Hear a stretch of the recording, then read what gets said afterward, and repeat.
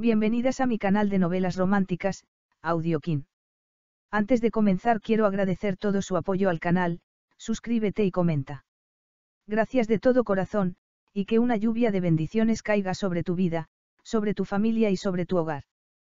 Te deseo lo mejor y que solo te pasen cosas bonitas. Comencemos con la narración de la novela cuyo título es Novia del guerrero del desierto. Argumento.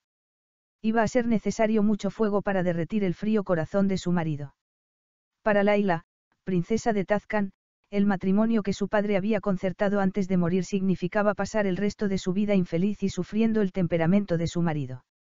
Tal perspectiva la empujó a escapar y sucumbir a los encantos del jeque Razalzaki, el mayor enemigo de su familia.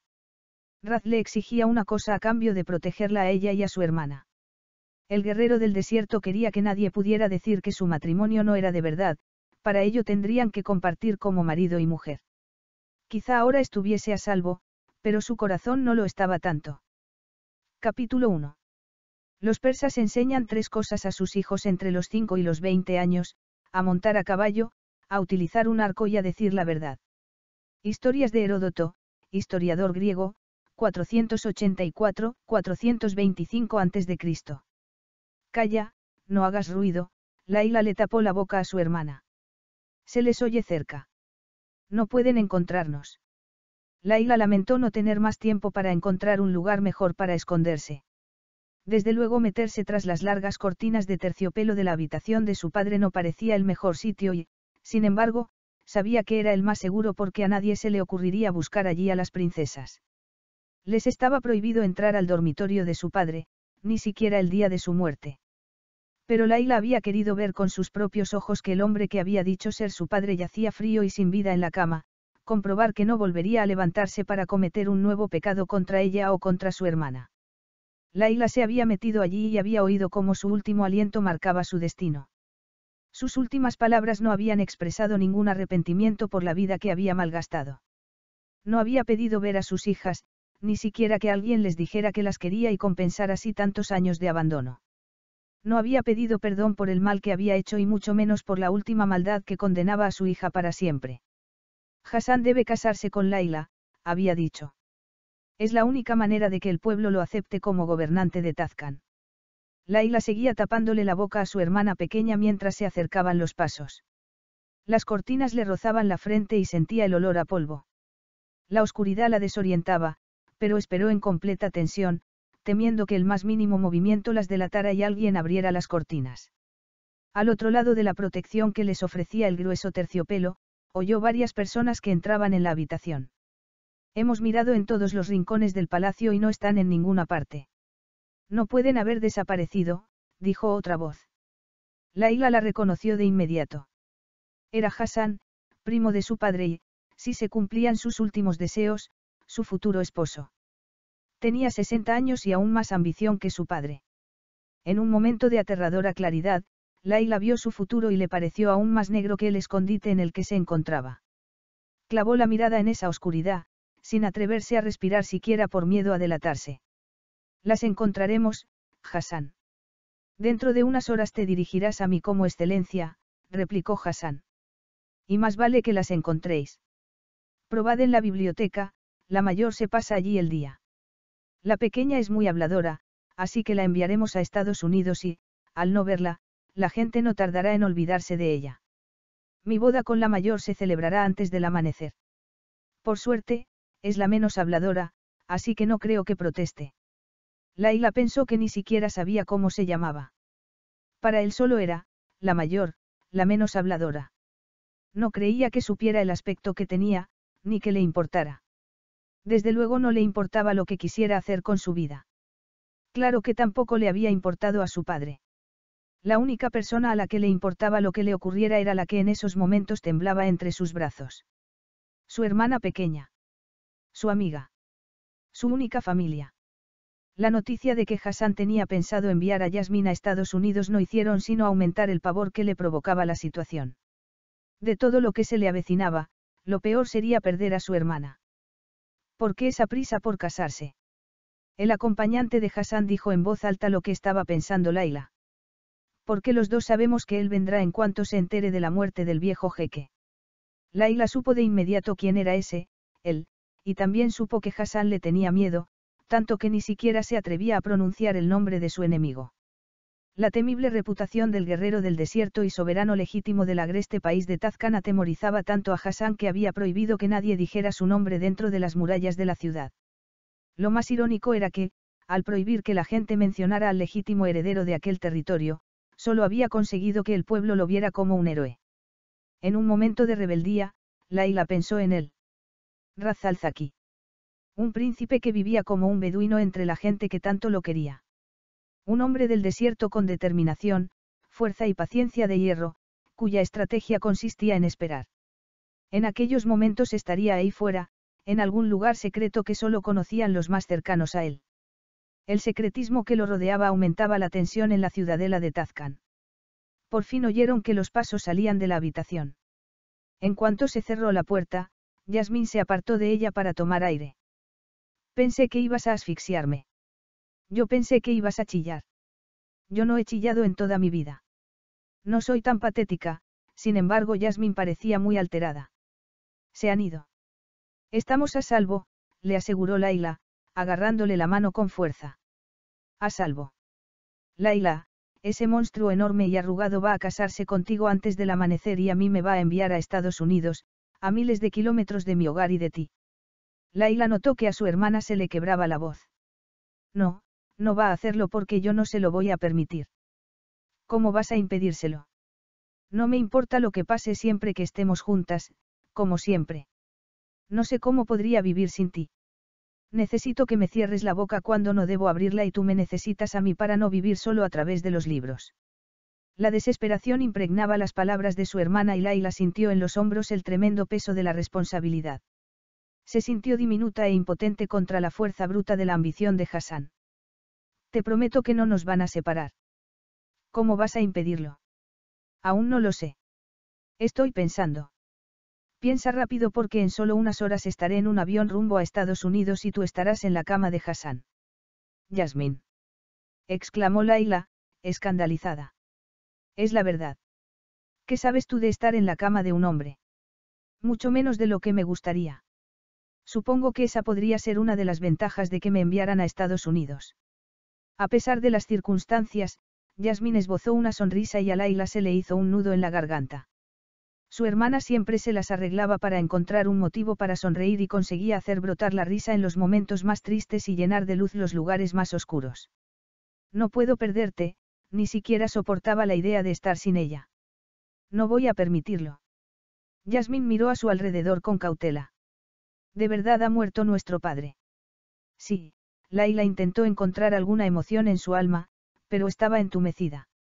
¿Estás triste? ¿Por qué habría de estarlo?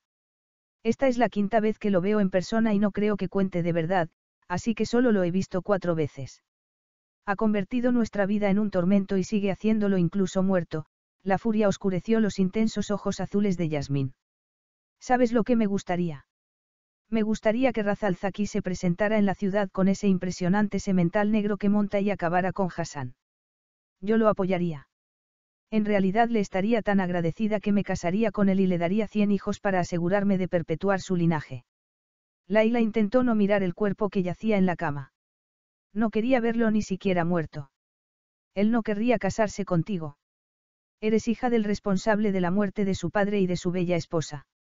Nos odia y no lo culpo por ello, ella también se odiaba por llevar la misma sangre que un hombre tan cruel. Debería casarse contigo, así nadie podría quitarle su reino. Eso acabaría con Hassan. Era una idea tan descabellada, tan típica de Yasmín, que el primer impulso de Laila fue descartarla de inmediato y pedirle que fuera más cauta, como hacía siempre. Pero ¿de qué iba a servirle ser cautas a solo unas horas de casarse con aquel monstruo? De pronto vio aquella idea con otros ojos. Yasmín. Dicen que amaba tanto a su esposa que cuando murió prometió que no volvería a amar a nadie, le contó su hermana, maravillada. ¿Alguna vez has oído algo tan romántico? El valor de Laila se esfumó de golpe. No podía hacerlo. No es romántico, es trágico. Es terrible. Pero imagínate que te ame tanto un hombre tan fuerte y honrado como él, eso es lo que yo quiero. Yasmín perdió la mirada en el vacío y Laila la zarandeó. Deja de soñar, aquello del amor era algo tan ajeno para ella. El único amor que conocía era el que sentía por su hermana, nunca había sentido nada mínimamente romántico al mirar a un hombre y nada de lo que había leído al respecto le hacía pensar que pudiera ser de otro modo en el futuro. Era una persona demasiado pragmática y era precisamente ese pragmatismo lo que la impulsaba en ese momento. Si te mandan a Estados Unidos, no volveré a verte. No puedo permitir que lo hagan. ¿Y cómo vas a impedirlo? Hassan nunca es tan peligroso como cuando está asustado y ahora está aterrado de Razalzaki, hasta el punto de no permitir que nadie pronuncie su nombre en la ciudad. Aunque todo el mundo lo hace, claro. Especialmente las mujeres, por lo que he podido escuchar. Has vuelto a estar en el zoco. Es que no te das cuenta de lo peligroso que es. Yasmin continuó hablando sin hacer el menor caso a sus palabras. Dicen que tiene el corazón frío como el hielo, dijo, susurrando con fascinación, y que solo una mujer podrá derretirlo. Es como esa leyenda de la espada y la piedra que me leíste cuando era pequeña. Vamos, Yasmín, a ver si creces.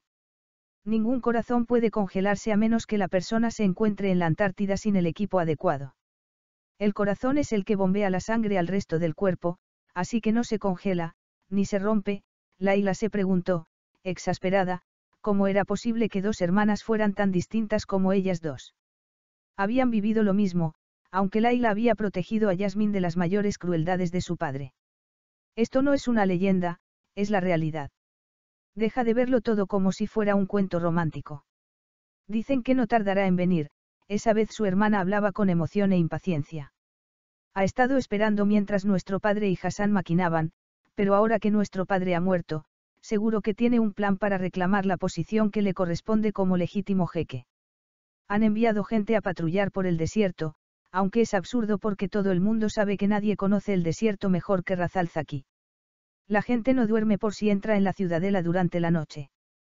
Sinceramente, espero que sea así.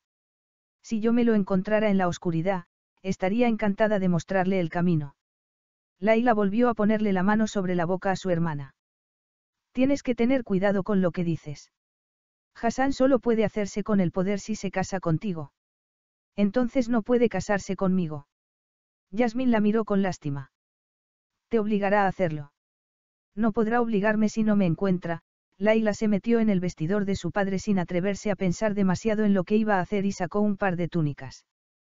Ponte esto, le tiró una a su hermana. Tápate el pelo y la cara todo lo que puedas. Espérame detrás de la cortina hasta que venga a buscarte. Tengo que ir a buscar algo a la biblioteca antes de irnos. A la biblioteca. ¿Cómo puedes pensar en libros en estos momentos? Porque los libros pueden serlo todo, un amigo, una vía de escape, un maestro, Laila dejó de hablar, esperando que su hermana no se hubiese dado cuenta de que se había ruborizado. Da igual. Lo importante es que nos vamos de aquí. Va a ser como cuando jugábamos al escondite de niñas, al ver el gesto de horror de Yasmin, lamentó haber hecho esa referencia. Esos caballos a los que tanto quieres, podrás montar alguno de ellos. Claro. Creyó verla titubear, pero fue algo tan fugaz que pensó que lo había imaginado. Yo he leído mucho sobre equitación y sobre los caballos árabes, así que seguro que entre las dos nos arreglamos, esperaba resultar más convincente de lo que se sentía. Iremos a las cuadras por detrás y desde allí nos adentraremos en el desierto. En el desierto. ¿Por qué? Laila comenzó a responder a pesar de que el cerebro le decía que era muy mala idea. Vamos a ir a buscar a Razalzaki. El viento atravesó el desierto, portando el rumor de la muerte del jeque. Desde su campamento, Razalzaki perdió la mirada en la oscuridad de la noche. ¿Es verdad o solo un rumor? Verdad, aseguró Salem, de pie junto a él. Nos lo han confirmado distintas fuentes. Entonces ha llegado el momento, hacía ya mucho tiempo que Raz había aprendido a ocultar sus sentimientos, pero sí que sintió en los hombros el dolor de aquella tensión que conocía bien. Esta misma noche salimos hacia la ciudad. Abdul, su consejero y amigo, dio un paso adelante. ¿Hay algo más, Alteza? Como bien predijiste, Hassan tiene intención de casarse con la mayor de las princesas en solo unas horas. Los preparativos de la boda ya han empezado. Antes incluso de que se enfríe el cuerpo. Raz soltó una carcajada llena de cinismo. Es obvio que está abrumada por el dolor. Hassan debe de tener por lo menos 40 años más que ella, murmuró Salem. Me pregunto qué ganará ella con la boda. No es ningún misterio. Seguirá viviendo en el palacio y disfrutando de un privilegio que jamás debería haber tenido, Raz volvió a clavar la mirada en el horizonte. Es hija de uno de los hombres más despiadados que ha habido en Tazcan, así que no pierdas el tiempo en sentir compasión por ella. Si Hassan se casa con la chica, te será más difícil cuestionar legalmente la sucesión. Por eso voy a asegurarme de que no se celebre la boda. Abdul lo miró con asombro. Entonces tienes intención de seguir adelante con el plan. Aunque lo que estás sugiriendo es que... Es la única alternativa posible, Raz lo interrumpió, consciente de su propia brusquedad. En otro tiempo había sido capaz de ser tierno, pero esa parte de sí mismo había muerto con la mujer que amaba. Hemos considerado todas las opciones y, dejó de hablar al oír ruidos afuera de la tienda de campaña. Sus dos guardaespaldas se acercaron a flanquearlo, esos hombres llevaban 15 años acompañándolo, desde el brutal asesinato de su padre, y Raz sabía que estarían dispuestos a morir por él. Pero lo que más le conmovió fue que Abdul se pusiera delante de él para protegerlo porque su fiel consejero no era una persona fuerte físicamente, ni demasiado hábil con las armas. Raz lo apartó con firmeza, pero con amabilidad. Vete. Le dijo Abdul. Podría ser el ataque que estábamos temiendo. Vio que Salem tenía agarrada el arma y, un segundo después, apareció un muchacho delgado al que tenían agarrado dos de sus hombres. Si pretendieran atentar contra mi vida, se lo habrían encargado a alguien más fuerte. Lo hemos encontrado merodeando por el desierto, junto a la frontera de Zubran. Parece que estaba solo. Dice que trae un mensaje para Razalzaki, explicó otro de sus hombres, protegiendo su identidad. Raz les hizo un gesto para que acercaran al muchacho. Le habían atado las manos por lo que, en cuanto lo soltaron, el joven cayó de rodillas. Raz se fijó en que la túnica le quedaba enorme. ¿Qué mensaje tienes para Razalzaki, muchacho? Le preguntó Salem, que rara vez se separaba de su lado. Tengo que hablar en persona con él, murmuró en voz tan baja que apenas se le oía. Y tiene que ser a solas porque el mensaje es solo para él, para nadie más. Uno de los guardias resopló, molesto. Más te vale no acercarte a él y mucho menos quedarte a solas porque te comería vivo. No me importa lo que me haga siempre y cuando escuche lo que tengo que decirle. Llévenme con él, por favor. El muchacho no levantó la cabeza en ningún momento, pero hubo algo en su postura, en sus hombros estrechos, que atrajo la atención de Raz. Dio un paso adelante. ¿No te da miedo? Hubo una breve pausa. Claro que tengo miedo, pero no de Raz Alzaki. Entonces tienes mucho que aprender, le advirtió el guardia al tiempo que lo ponía en pie. Pasará la noche encerrado y lo interrogaremos de nuevo por la mañana. No. El muchacho forcejeó frenéticamente con el guardia. Por la mañana será demasiado tarde. Tengo que hablar con él ahora, por favor. El futuro de Tazcan depende de ello. Raz lo miró un segundo. Llevadlo a mi tienda. Salem, Abdul y los guardias lo miraron sin dar crédito a lo que oían. Antes lo desvestiremos para registrarlo bien y... Llevadlo a mi tienda y dejadnos solos. Abdul le puso la mano en el brazo y le habló en voz baja. Nunca he cuestionado tus decisiones, Alteza, pero debo suplicarte que al menos dejes que se queden contigo dos hombres. ¿Acaso crees que no puedo defenderme de alguien la mitad de grande que yo? Creo que en estos momentos Hassan es capaz de cualquier cosa. Está asustado y desesperado y la desesperación hace que uno cometa locuras. Podría ser una trampa. Tiene razón, afirmó Salem. Yo me quedaré contigo. Raz le puso la mano en el hombro a su amigo. Tu amor y tu lealtad son muy importantes para mí, pero tienes que confiar en mí. Si te ocurriera algo. El mejor que nadie sabía que había promesas que no se debían hacer. Aseguraos de que no nos molesten, despidió a los guardias con un gesto y entró a su tienda. El muchacho estaba arrodillado en el rincón más alejado de la puerta. Raz lo observó unos segundos, después se aproximó a él y cortó la cuerda que le ataba las muñecas. Levántate. Lo vio intentarlo, pero parecía incapaz de hacerlo. Me duelen las piernas de montar y me he hecho daño en un tobillo al caer. Dime a qué has venido. Solo hablaré con Razalzaki, con nadie más. Entonces habla, le ordenó suavemente y el muchacho levantó la cabeza con asombro. ¿Es usted? Le preguntó, con los ojos abiertos de par en par y el rostro tapado prácticamente por completo. Soy yo el que hace las preguntas, respondió Raz, guardándose el cuchillo. Lo primero que quiero saber es qué hace una mujer rondando mi campamento en mitad de la noche. ¿Cómo se le ocurre meterse en la guarida del león, princesa? Laila estaba sufriendo una verdadera agonía. La agonía física que le provocaba el dolor provocado por la caída y la agonía emocional de saber que su hermana estaba perdida y sola en la inmensidad del desierto. Y todo por su culpa. Había sido ella la que había propuesto aquella locura. Ella, que nunca hacía nada irreflexivo, que siempre analizaba cuidadosamente todas las opciones antes de tomar cualquier decisión, había actuado por impulso. Habría sido mejor que Hassan la enviara a Estados Unidos, al menos así habría sabido que estaba viva. Pero la realidad era que Yasmin había desaparecido y ella estaba prisionera en el campamento de Razal Zaki, un hombre que tenía más motivos para odiarla que nadie en el mundo. Un hombre que sabía quién era. Al mirar aquellos fríos ojos negros, comprendió de pronto el significado de la expresión, estar entre la espada y la pared. Si su primo era la espada, aquel hombre era la pared. Tenía cuerpo de guerrero, hombros anchos y fuertes y, aunque Laila sabía que había sufrido mucho, en su rostro no había ninguna señal de dicho sufrimiento. No era la imagen de un hombre destrozado y vulnerable, sino la de alguien fuerte, al menos por fuera, la de un hombre con la autoridad y la seguridad en sí mismo de aquellos que habían nacido para dirigir a otros. Era justo lo que Laila había imaginado, pero aún así la intimidaba. Supo quién era desde el principio. A los cinco segundos de verla. Tiene un rostro memorable, princesa. Y unos ojos inconfundibles.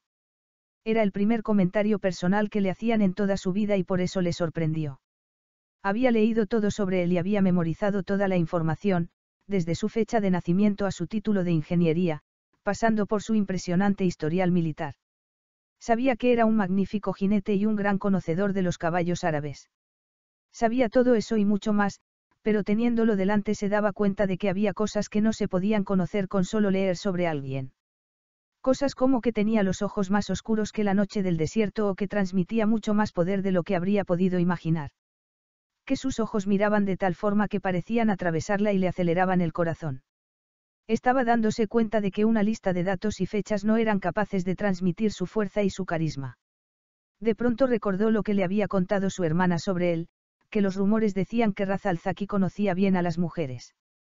Que antes de enamorarse había llevado una vida bastante salvaje y que después se había apartado de todo y había encerrado bajo llave todas sus emociones. ¿Cómo es que me conoce? Trato de conocer bien a mis enemigos. Yo no soy su enemigo, pero tampoco podía culparlo de pensar así. Su familia había ocasionado muchos sufrimientos a la de él desde hacía varias generaciones. Eso me lleva a la siguiente pregunta, ¿dónde está Hassan? ¿O es que es tan cobarde que envía a una mujer a entregar sus mensajes? Laila se estremeció, pero no habría sabido decir si había sido por su tono de voz o por sus palabras. No he venido aquí en nombre de Hassan. Estaba con mi hermana, Yasmin, pero me caí del caballo, le vio apretar los labios. Lo siento, pero, tiene que ayudarme a encontrarla. Se lo ruego. Está sola en medio del desierto, no podrá sobrevivir, la idea la llenó de desesperación, sin embargo, él no mostró sentimiento alguno. Absolutamente nada. Entonces, ¿dónde está Hassan? Puede que esté en el palacio o quizá por ahí, buscándonos. No lo sé. No lo sabe. Pero se supone que va a casarse con él en solo unas horas. ¿Sabe lo de la boda? Lo sé todo. Si cree que quiero casarme con Hassan, está claro que no lo sabe todo, había poca luz en la tienda, pero pudo ver la sorpresa que reflejaron sus ojos. ¿Cómo han salido del palacio sin su consentimiento? Nos hemos escapado. A mi hermana le encantan los caballos y escogió el más rápido que había, pero se le olvidó decirme que no sabía cómo controlarlo, se llevó la mano a la magullada espalda. Iban las dos en un solo caballo. Sí.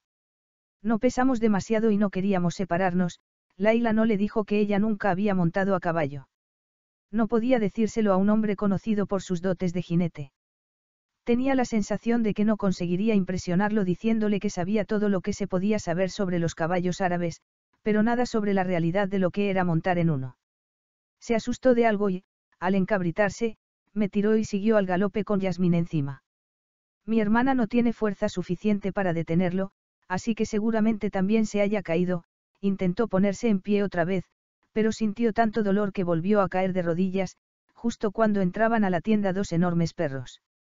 El miedo la dejó sin fuerzas. Había quedado a la misma altura que aquellas dos fieras que le enseñaban los dientes. Raz les dijo algo y automáticamente se tiraron al suelo, agacharon la cabeza y lo miraron con absoluta adoración. Saluki. Tenía tanto miedo que apenas le salía la voz. Tiene perro Saluki. Reconoce la raza. Claro. Es una de las razas más antiguas del mundo. Se encontraron restos de Saluki en las pirámides de Egipto, momificados junto a los faraones, no le contó que su experiencia con aquellos perros era bastante más personal y traumática, una experiencia que había intentado olvidar para siempre. Ha dicho que habían escapado. ¿A dónde se dirigían?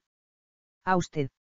Veníamos a buscarlo, Laila siguió inmóvil, acordándose de que los perros no la atacarían si no los provocaba o no se lo ordenaba alguien. La noche de la muerte de su padre. No la veo llorar, así que deduzco que ha heredado su falta de sentimientos. Eso era lo que pensaba de ella. Laila estuvo a punto de corregirle, pero sabía que no era el mejor momento para hacerlo. Ya aclararía más tarde los malentendidos. El último deseo de mi padre fue que me casara con Hassan. Entonces, ¿por qué ha venido a buscarme a mí? Había ensayado mil veces todo lo que quería decirle, pero al sentir su mirada sobre ella, se quedó sin palabras. Usted es el legítimo soberano de Tazcan, pero si Hassan se casa conmigo, a usted le resultará mucho más difícil conseguir lo que le corresponde. Lo vio quedarse tan inmóvil que supo que tenía toda su atención. Eso no explica por qué ha venido hasta aquí.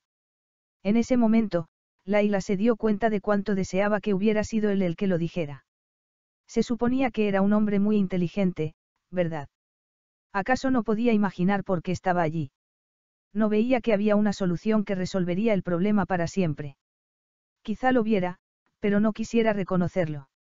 No lo culpo por odiarme, no era eso lo que había pensado decirle, pero al mirarlo, solo pudo pensar en todo lo que había sufrido. Si pudiera cambiar quién soy, lo haría sin dudarlo, pero le pido que se olvide de eso y haga lo que hay que hacer. ¿Y qué es lo que cree que hay que hacer, princesa? Era la primera vez que un hombre le preguntaba su opinión. Desde que había dado el primer paso hasta que se había escapado del palacio por la ventana del dormitorio de su padre, todo el mundo la había tratado como si no fuera más que un mero arma del abundante arsenal de la casa Alaviv. Sin embargo, él acababa de preguntárselo.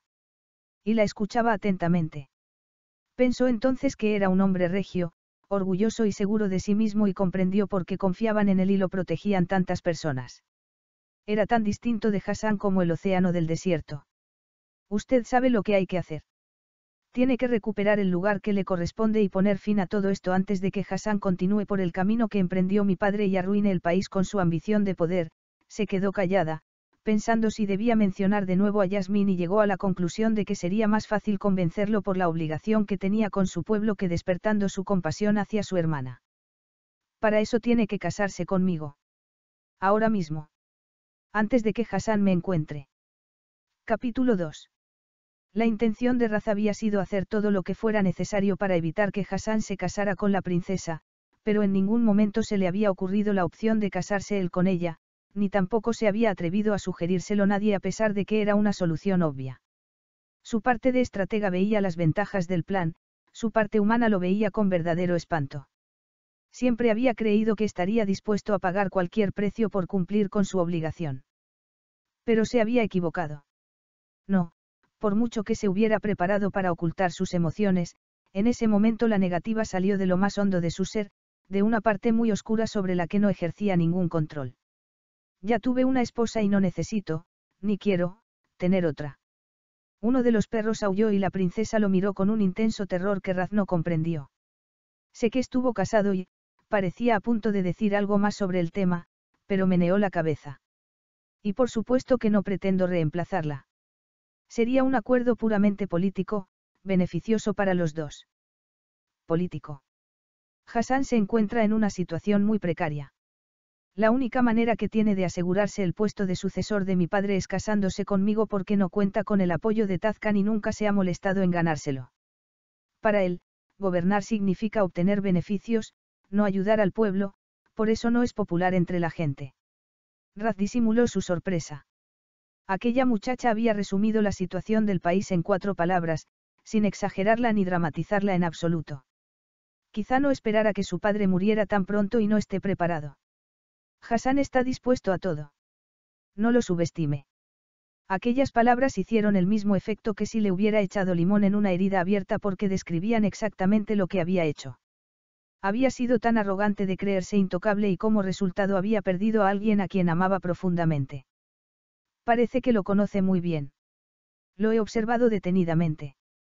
Es posible que tenga algún trastorno mental, como cualquier psicópata, no muestra sentimiento de culpa, ni se arrepiente de nada de lo que hace.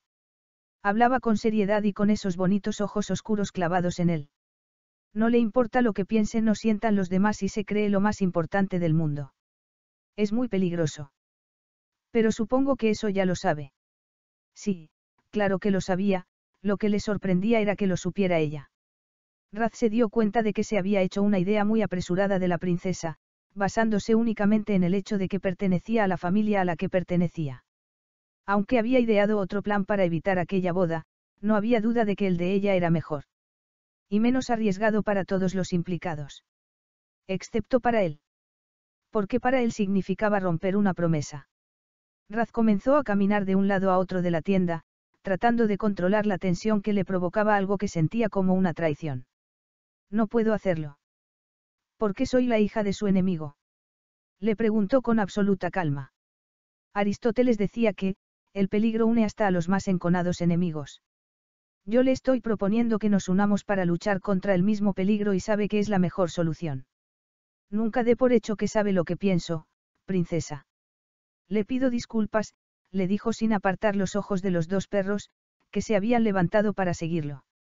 Me parecía una solución tan lógica que pensé que a usted también se lo parecería. Así era. Lo que le frustraba era que sus sentimientos fueran en contra de dicha lógica. Usted aplica la lógica a todo. No lo hice cuando decidí robar un caballo y echar a andar hacia el desierto, así que supongo que debo responder que no. Pero la mayoría de las veces sí lo hago. Soy de la opinión de que se suele obtener un mejor resultado si antes se piensa bien lo que se va a hacer. Nunca había conocido a nadie tan serio como ella. Se le pasó por la cabeza preguntarle si alguna vez se reía o bailaba o se divertía de alguna manera, pero enseguida se preguntó que qué más le daba. Me propone algo que no puedo contemplar siquiera. Sin embargo, sabe que es lo mejor para Tazcan, así que deduzco que su negativa se debe a que amaba mucho a su mujer. Raz sintió que se le helaba la sangre en las venas para después empezar a arderle de furia. La lógica o el instinto de supervivencia debería decirle que está entrando en un terreno peligroso. No pretendo hacerle daño, solo trato de entender por qué rechaza una solución tan adecuada, se tocó la túnica con una mano temblorosa. Comprendo que la quisiera mucho, que se hicieron promesas y que ahora no quiera volver a casarse. Usted no comprende nada, su voz sonó como un rugido. No puede resumir tantas emociones en una simple frase, se asustó de la ira que sentía y ella también debió de asustarse porque miró a la entrada de la tienda como si estuviese calculando la distancia. Raz se avergonzó de sí mismo porque tenía muchos defectos, pero atemorizar a las mujeres no era uno de ellos. Lo siento, dijo ella antes de que él pudiera hablar, y lo hizo con una voz suave que bastó para calmarlo. Tiene razón, no puedo comprender lo que siente porque nunca he amado a nadie de ese modo. Lo que comprendo es que su decisión de no querer volver a casarse se debe al amor que le profesaba a su esposa, y lo que quiero aclararle es que lo que le propongo no tiene nada que ver con lo que compartió con ella. El nuestro sería un matrimonio de conveniencia política, no por amor. No estaría traicionando su memoria porque sería un acuerdo político. Si se casa conmigo, ocuparía el puesto que le corresponde como soberano de Tazcan y nadie podría arrebatárselo. Quizá lo comprendiera mejor de lo que había pensado. Cree que me dan miedo los retos.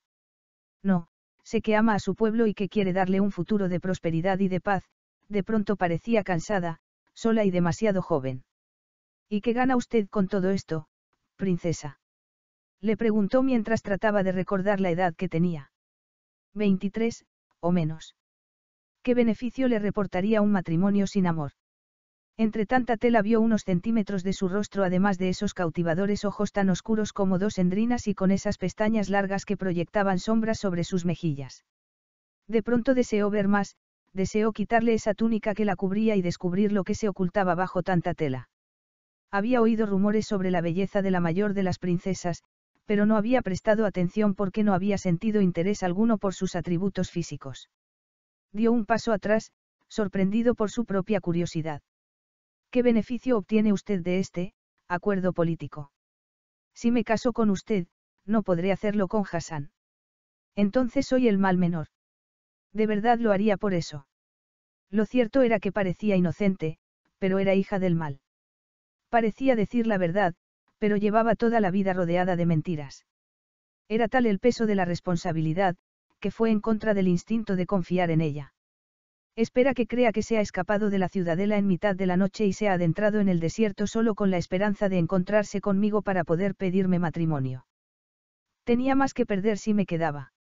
Y había oído que hay mucha gente que conoce su paradero. Confiaba en que alguien me condujera hasta usted, Alteza. Le había llamado, Alteza, jamás habría esperado semejante reconocimiento por su parte. Veo que vuestra lealtad no es muy firme. Mi lealtad es para con Tazcan, pero entiendo que le dé miedo fiarse de mí. Es cierto que tengo otros motivos, más personales. ¿Qué motivos son esos? Hassan tiene intención de enviar a mi hermana a Estados Unidos, dijo con evidente desesperación.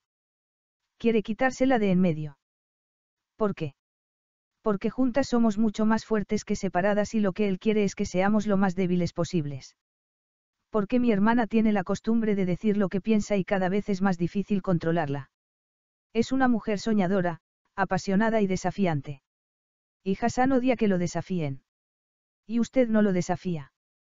Me parece que no sirve de nada provocar a una fiera, hizo una breve pausa antes de mirarlo con los ojos llenos de sufrimiento. Tengo miedo de que los hombres de Hassan la encuentren antes que usted. Racen arcó una ceja. Me temo que es inevitable, puesto que yo no la estoy buscando. Pero va a hacerlo. Y, cuando estemos prometidos, la protegerá también a ella. Así que era por eso por lo que había acudido a él. Lo había arriesgado todo por amor. Entonces, para no perder a su hermana y proteger Tazcan, ¿está usted dispuesta a casarse con un desconocido?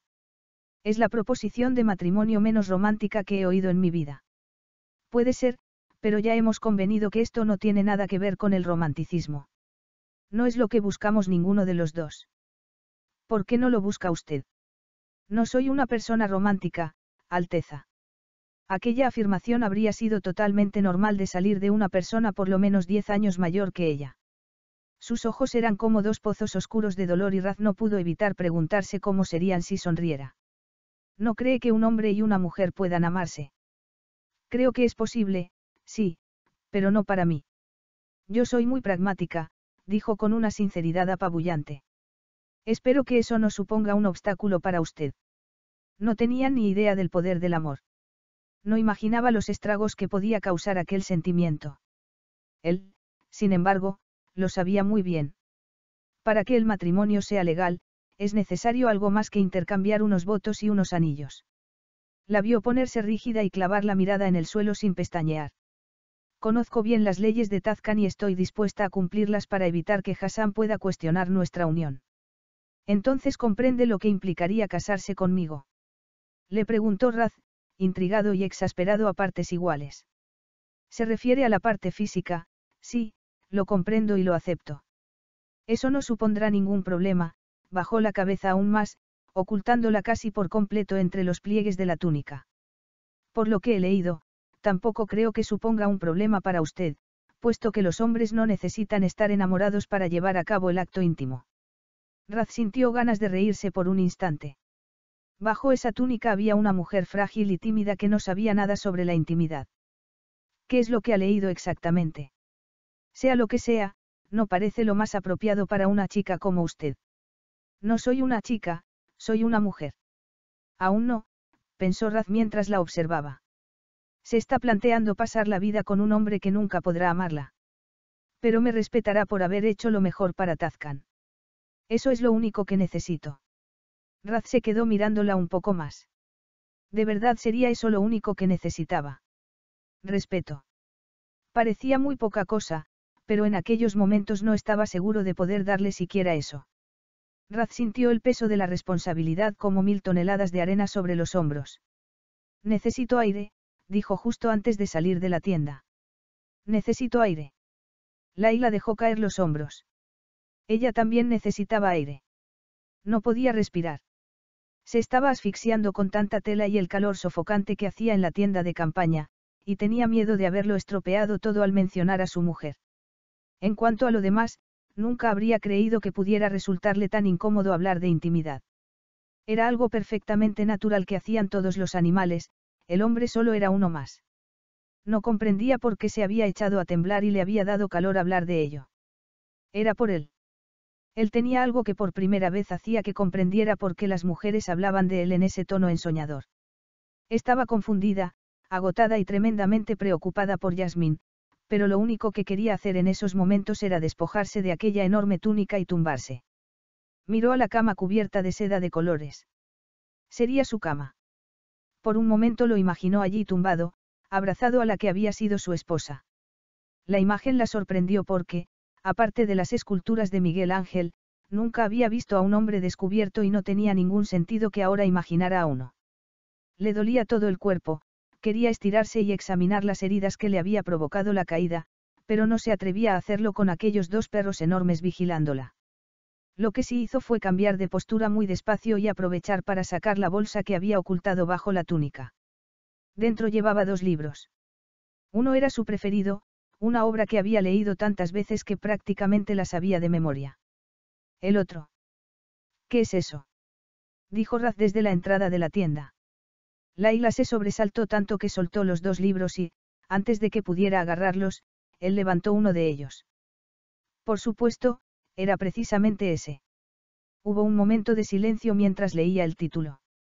¿Reproducción humana? Preguntó, enarcando ambas cejas. Si pretendo casarme, debo saber qué es lo que tendré que hacer. No hay nada que no se pueda aprender estudiando. No sé absolutamente nada del tema y creo, por experiencia, que la ignorancia nunca es buena. El corazón le golpeaba el pecho como si fuera un caballo que galopara por la arena y tenía la boca seca como si se hubiera tragado todo el desierto. El largo silencio era más humillante que una negativa. Al menos la penumbra de la tienda la protegía un poco de su mirada. No había esperado demasiado de aquel encuentro, pero al menos pensaba que diría algo, no que se largara de la tienda.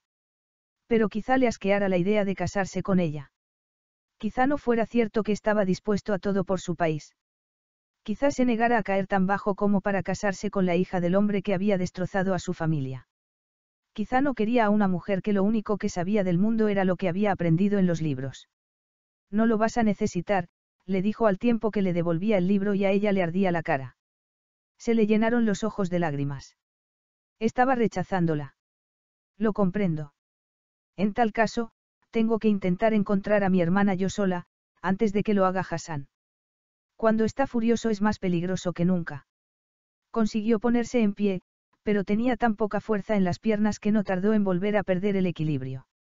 Él la agarró en brazos y la levantó del suelo. Por miedo a sufrir la segunda caída del día, Laila se agarró a su cuello y sintió la fuerza de sus músculos. Al levantar la mirada, se encontró con la ferocidad de sus ojos negros. La curiosidad se convirtió en fascinación. Bajó la vista hasta su boca, que estaba aterradoramente cerca. Tenía los labios firmes, tan bellos y duros como el resto de su rostro de pómulos marcados. Todo en él transmitía fuerza y peligro. Incluso ella, que no tenía la menor experiencia ni interés por los hombres, comprendía que las mujeres lo consideraran espectacularmente guapo. Sintió una extraña tensión en el estómago y un calor que le recorrió la piel. Se quedaron mirándose el uno al otro hasta que él apretó los labios, recorrió los pasos que los separaban del lecho y la dejó sobre el colchón. ¿Dónde te duele? Le preguntó. Su voz la sacó de aquel absurdo estado de ensoñación. Laila se dijo a sí misma que no había motivos para sentirse intimidada. Él no podía evitar ser tan alto y fuerte. Ni tampoco por no sonreír en semejantes circunstancias. Solo le había preguntado dónde le dolía, una pregunta práctica e inofensiva. Me duele todo el cuerpo, pero especialmente las piernas, la espalda y los brazos. Supongo que en parte me duele por el ejercicio que he hecho al montar a caballo y la falta de costumbre, además de por la caída. Pero, a juzgar por los síntomas, no creo que me haya roto nada. Deduzco que también ha leído libros de medicina, aparte de Aristóteles y de reproducción. Veo que tiene unos gustos muy diversos, princesa. No le dijo que el último ni siquiera lo había empezado. Leo mucho. Usted lee y su hermana habla, la miró en silencio, con gesto irónico, durante unos minutos largos e inquietantes. Quítese la túnica. ¿Qué? Se sentía como un ratoncillo bajo la aterradora mirada de un águila. ¿Por qué? Porque quiero examinar las heridas personalmente. No tengo ninguna herida, se apresuró a decir. De verdad, solo es dolor muscular. Se lo agradezco mucho, pero no hay nada de lo que preocuparse. Le inquietaba la idea de despojarse de la ropa delante de aquel hombre. Se sentó en la cama con un suspiro, tan cerca de ella que le rozaba suavemente la pierna. Dice que quiere casarse, pero le da miedo quitarse la túnica en mi presencia. Tiene intención de que nos acostemos completamente vestidos cuando estemos casados. Por supuesto que no. Eso es distinto. ¿Por qué? Estaba poniéndola a prueba. No la creía capaz de hacerlo. La desesperación fue mucho más fuerte que el pudor. Si se negaba a casarse con ella, no volvería a ver a Yasmín. ¿Por qué entonces cumpliré con la responsabilidad que conlleve el papel de esposa? Responsabilidad. La intimidad física es una de las responsabilidades de una esposa y sé lo que implica. De verdad, princesa. ¿Cuántas páginas del libro de reproducción ha leído? Si decía que lo había leído de principio a fin se casaría con ella. Laila abrió la boca y luego volvió a cerrarla porque sus dotes de mentirosa estaban a la par con las de Amazona. No muchas, dijo, esperando que la sinceridad no le arruinara el futuro. En realidad, por ahora solo he leído el título. Pero leo muy rápido, añadió rápidamente por temor a que la falta de conocimientos lo echase atrás. Además usted sí que tiene experiencia. Por algún motivo, solo con decir eso sintió un repentino calor. No quiere quitarse la ropa, pero, cuando estemos casados, vendrá a mi cama completamente descubierta. Laila sintió un estremecimiento. Tenía el corazón encogido y la cabeza aturdida. Pensó que serían los nervios. Eso quiere decir que acepta mi propuesta. De pronto levantó la mano y le retiró la tela que le cubría la cabeza. La miraba con gesto tenso y serio, como si estuviese tratando de tomar una decisión muy importante. Laila intentó no estremecerse de nuevo mientras se recordaba que tenía todo el derecho del mundo a mirar a la mujer con la que quizá fuera a casarse.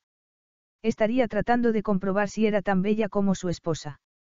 O estaría tratando de decidir si podría mirarla cada día sin ver el rostro de su padre y de Hassan, y pensar en todo el mal que le habían hecho aquellos dos hombres.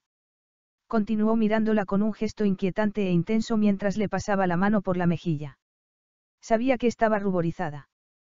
Podía sentir el calor en el rostro y sabía que él también lo estaría sintiendo en los dedos, unos dedos que no parecían tener la menor prisa por dejar de explorar su piel.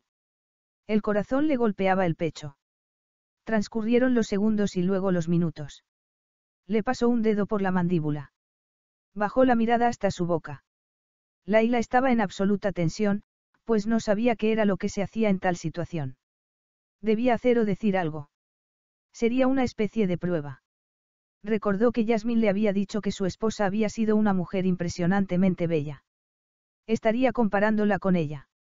Cuando por fin habló, Laila percibió algo distinto en su voz, algo que no sabía identificar. Eres valiente. Era un alivio que por fin hubiera algo que le gustara de ella, pero también era una decepción que, después de observarla tanto tiempo, solo hubiera encontrado eso que decir de ella. No soy valiente, me escapé del palacio, dijo porque se sentía obligada a decir la verdad. Y viniste en mi busca para ofrecérmelo todo, a pesar de que te aterra la idea. No estoy aterrada. Creo que hasta ahora has sido sincera conmigo. Te aconsejo que no dejes de serlo. Dudó un momento antes de responder. No creo que vaya a hacerme daño. Él la miró fijamente. No podré evitar hacerte daño, si hubieras leído el libro, lo sabrías. Se refería a un daño físico. Si duele, lo soportaré. Pareces decidida a hacerlo, pero tu proposición nos atará de por vida, así que te sugiero que lo pienses bien hasta que estés completamente segura de qué es lo que quieres hacer. Por eso vine a proponértelo, porque no dejaba de preguntárselo. La alternativa es atarme de por vida a Hassan y supongo que te darás cuenta de lo poco atrayente que es esa idea. Vio un brillo distinto en sus ojos. No habría sabido decir si era admiración, lástima o quizá fuera que la situación empezaba a parecerle divertida. Eres fuerte y sincera, dos cosas por las que siento mucho respeto. Si es cierto que lo único que buscas en una relación es respeto, sí que puedo prometértelo, se puso en pie, seguro de sí mismo. Voy a enviar a Salem a buscar a tu hermana para que la traiga. Es cierto que no hay tiempo que perder, así que nos casaremos dentro de una hora. Otra cosa, princesa, se detuvo en la entrada de la tienda. No necesitas el libro. Cuando llegue el momento, yo te enseñaré todo lo que necesites saber. Capítulo 3. Tengo que buscar a una princesa que habla demasiado. ¿Qué clase de descripción es esa? Todas las mujeres hablan demasiado, Salem lo miraba desde lo alto de su caballo con gesto de incredulidad. Si el caballo que robó es el que nosotros creemos, es un semental hecho para galopar a toda velocidad y sin necesidad de descansar. Puede estar muy lejos o quizá tirada sin vida en medio del desierto. Los dos sabemos que tienes la habilidad suficiente como para encontrar a quien haga falta, Raz cabalgaba al lado de su compañero y hermano. Pero ten cuidado porque Hassan también estará buscándola. ¿Y a ti? No deberías pedirme que me aleje de ti en estos momentos. No te lo pido, te lo ordeno. Es cierto que vas a casarte con la princesa esta misma noche. Es lo mejor que se puede hacer. En realidad es lo único que se puede hacer. Puede que sea lo mejor para Tazcan, pero ¿y para ti? Raz prefirió obviar la pregunta. Haz todo lo que esté en tu mano para encontrar a la princesa. Juraste que no volverías a casarte. Nadie excepto su hermano se habría atrevido a hacerle un comentario tan personal, pero aún así, sus palabras fueron como un latigazo para Raz. Hay distintos tipos de matrimonios, este será un matrimonio de cabeza, no de corazón. La princesa es muy joven, ¿es esa la vida que quiere? Ella asegura que sí. ¿Sabe lo de? No, lo interrumpió Raz antes de que pudiera terminar la frase. Pero es consciente de lo que puedo ofrecerle. ¿Y te fías de ella? Podrás vivir a su lado sabiendo quién es. Aprenderé a hacerlo, en lugar de pensar en su familia, la recordó recostada en su cama, apretando la túnica entre las manos. Recordó el libro que había escogido para aprender a desempeñar su nuevo papel. Pensó en el valor que habría necesitado para acudir a él. Tiene muy poca experiencia en la vida. Sin embargo, tú tienes demasiada. Tú no eres un hombre fácil, Raz, estás siendo justo con ella. Intentaré ser lo más justo posible, dejó de tirar de las riendas e hizo avanzar a su caballo. Estamos perdiendo el tiempo. Si quieres que mi prometida sea feliz, tráele a su hermana sana y salva. De acuerdo, pero cuídate mucho, hermano, le dijo, alejándose ya. Su Alteza dio orden de que le trajéramos ropa, la muchacha dejó un vestido sobre la cama mientras le dedicaba una mirada que daba cuenta del odio que sentía hacia ella. Gracias, Laila observó la maravillosa prenda de seda con un cinturón que la ajustaba a la cintura. No esperaba un vestido, admitió. Y mucho menos un vestido como aquel. Un vestido romántico. ¿De dónde lo habría sacado? Por un momento sintió pánico de que Razalzaki pensara que en realidad ella albergaba algún tipo de esperanza sobre su relación, pero enseguida recordó que él sería la última persona en el mundo en alimentar falsas ilusiones. No puede casarse con su Alteza cubierta de polvo, le dijo la chica, sin poder disimular sus celos. Era evidente que todos la censuraban, lo que hizo que Laila se sintiera terriblemente sola y echara aún más de menos a su hermana. Habría querido decirle a aquella muchacha que no tenía nada por lo que sentirse celosa, que aquel matrimonio no era más que un gesto de lealtad hacia su país. Pero seguramente era obvio. El jeque y yo nos conocimos hace solo unas horas. Pero la ha elegido para que le caliente el lecho y el corazón. Es una gran responsabilidad. La chica se retiró llevándose la tina de agua con la que Laila se había lavado, pero sus palabras se quedaron flotando en el aire. Por mucho que afirmara que aquella boda no tenía nada que ver con el amor, sino con el deber, en realidad sería la unión de un hombre y una mujer que iban a pasar la vida juntos. Y ni siquiera sabía si él podría tratarla con amabilidad después de todo lo que le había hecho sufrir su padre. ¿Qué más daba? La alternativa era casarse con Hassan y no podría haber nada peor que eso. Pero cuando la muchacha volvió y empezó a peinarla mientras enumeraba las muchas cualidades de Raz, Laila no pudo evitar preguntarse si no habría cometido el peor error de su vida. De pronto oyó ruido en el exterior y se enteró de que eran los invitados a la boda. Para los beduinos, una boda es la excusa perfecta para arreglarse y pasarlo bien. Se ha corrido la voz de que Su Alteza Real Razalzaki va a casarse con Su Alteza Real la princesa Laila de Tazcan, la joven pronunció su nombre con evidente tensión. Su Alteza quiere que venga toda la gente de los alrededores que sea posible. Es importante que haya testigos. Eso significaba que quería que Hassan se enterara y se sintiese amenazado.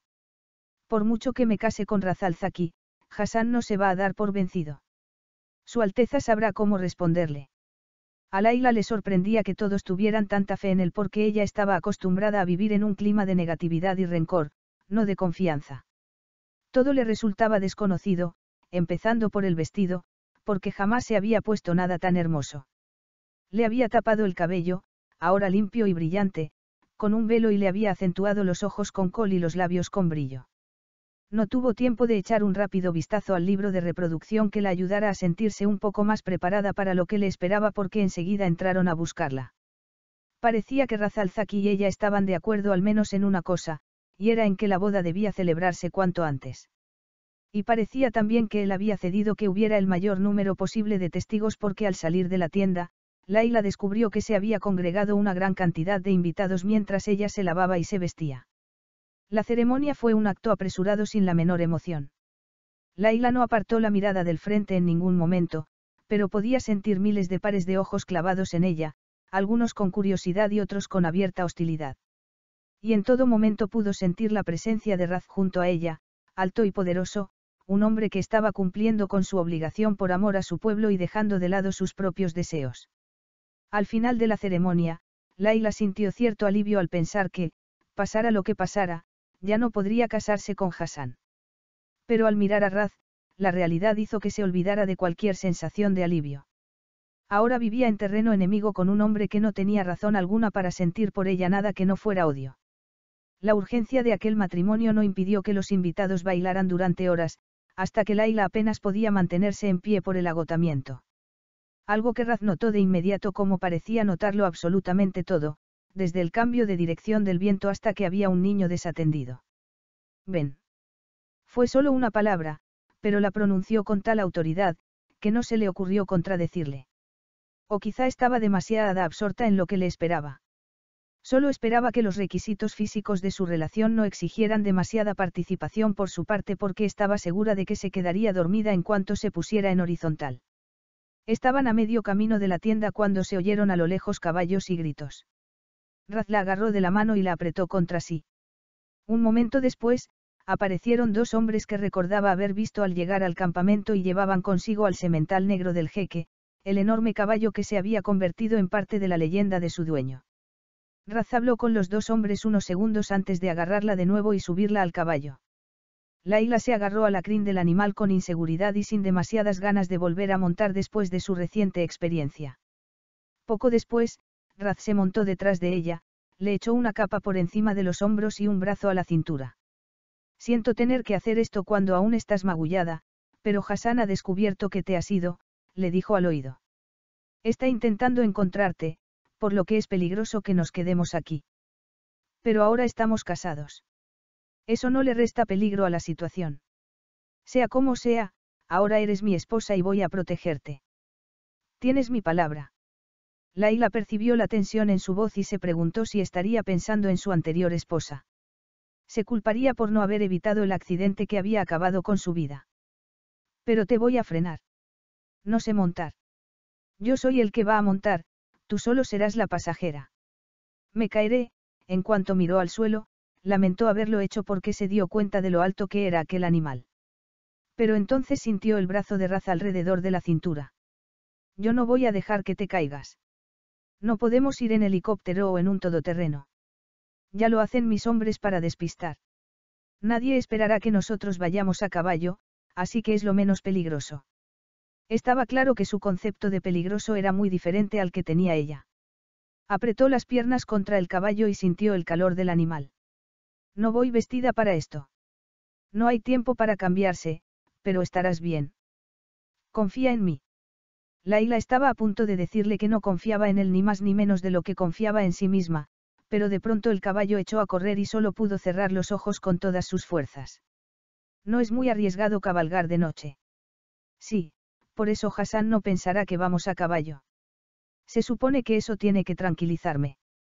Laila creyó oírlo reír, pero debió de ser el viento porque no tenía sentido que alguien encontrara divertida aquella situación. Conozco tan bien el terreno como tú el palacio.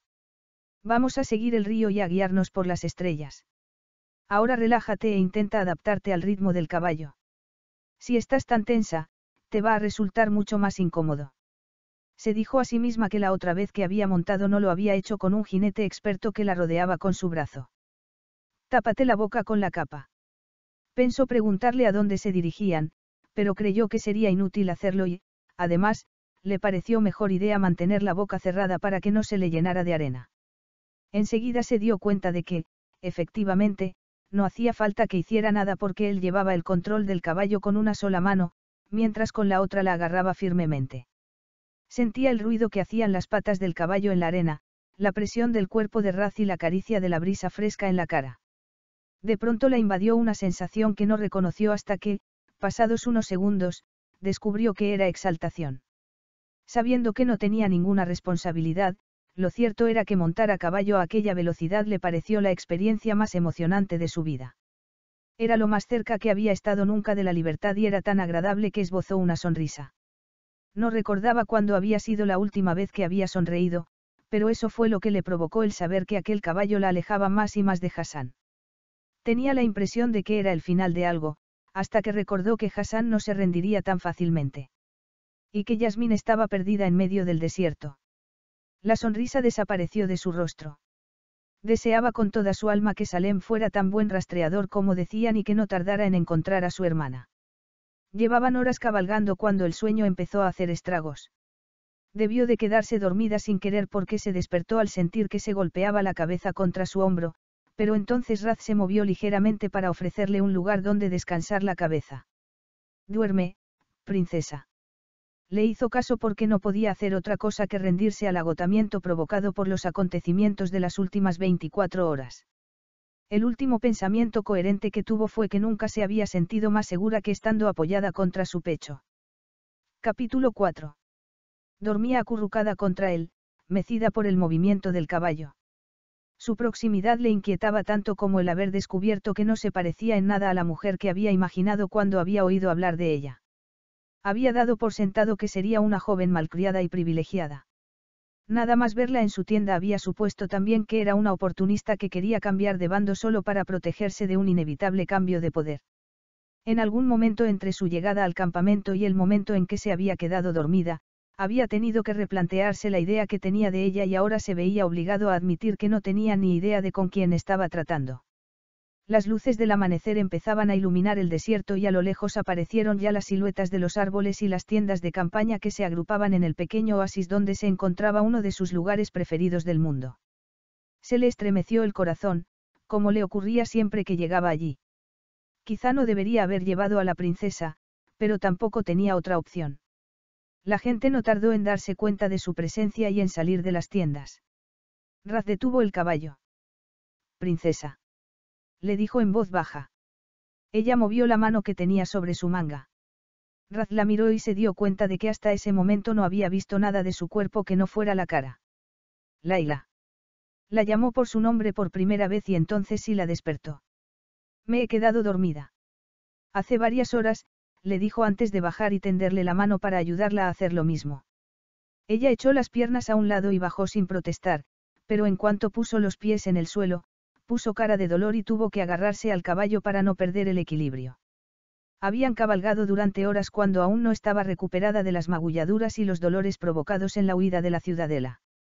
Tus músculos no tardarán en acostumbrarse a montar, le aseguró Raz. Estoy bien, mintió ella.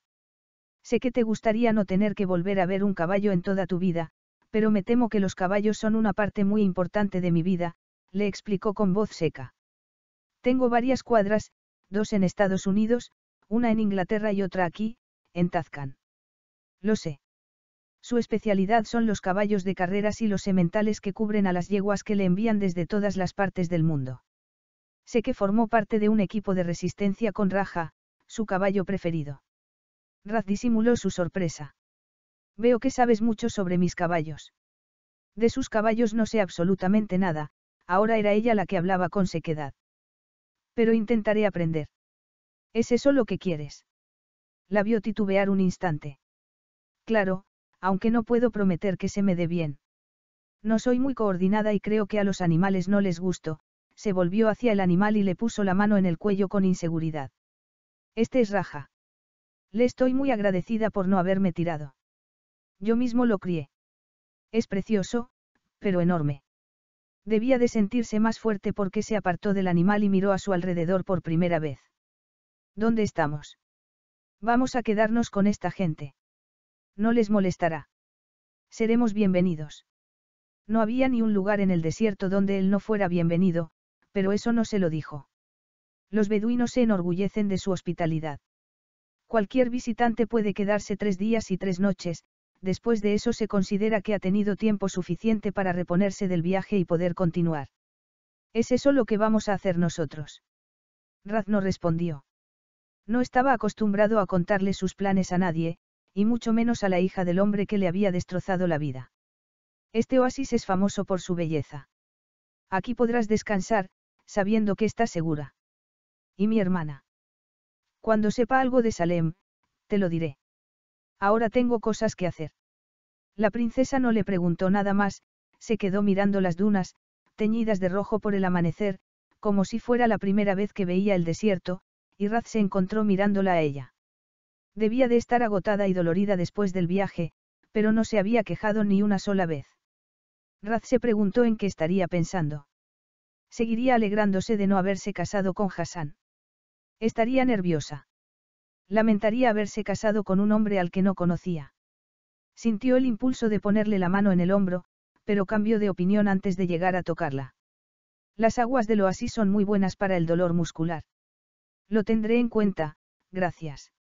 En ese momento Raz vio salir a una mujer de una de las tiendas y lamentó no haber podido preparar mejor aquel momento, pero el mundo casi nunca era como a él le gustaría. Esta es Nadia. Si necesitas algo, ella te ayudará. Nadia miró a Laila y luego a él, incapaz de ocultar su tristeza. Entonces es cierto. ¿Te has casado con ella? Le tembló la voz y Raz le lanzó una mirada de advertencia. Sí, quiero que la atiendas bien. Por un momento pensó que iba a negarse a hacerlo. Al mirarla a los ojos se preguntó si sus sentimientos eran más complicados de lo que había creído. Claro, dijo por fin, asintiendo levemente.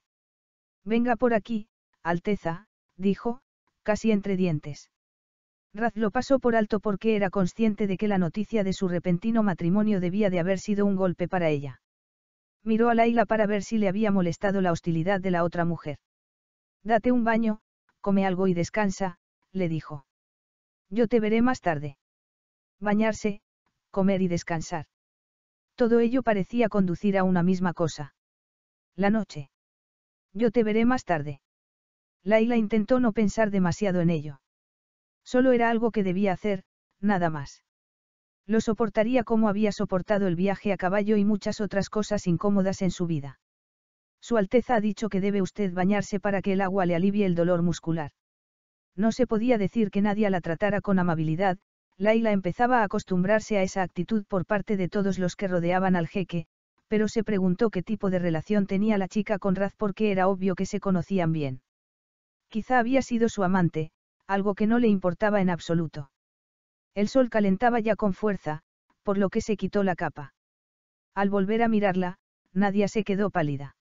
¿De dónde ha sacado ese vestido? Laila se miró y vio que la tela estaba sucia de arena y polvo. Me lo dieron. ¿Por qué?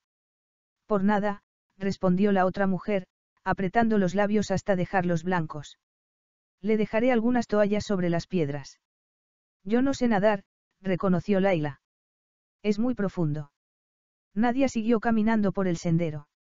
No si se mete por las rocas que hay más lejos del camino. Laila repitió aquellas palabras en su mente para memorizarlas bien y no equivocarse. El primer vistazo del campamento no le había hecho imaginar la impresionante belleza de aquel oasis. Bajo la sombra de las palmeras de dátiles, había una pequeña laguna que resultaba muy tentadora después del largo y polvoriento camino.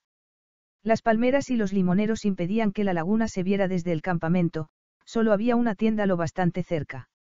Esa es la tienda de Su Alteza, le explicó Nadia señalándola. Si necesita algo, solo tiene que llamarme, pero no se preocupe, que la laguna es muy segura durante el día. Voy a buscar las toallas. Laila no le preguntó qué pasaba durante la noche, estaba ocupada pensando quién le habría cedido su tienda al jeque. Era evidente que tenía una posición privilegiada, apartada de las demás y junto a la laguna, que funcionaba como una piscina privada.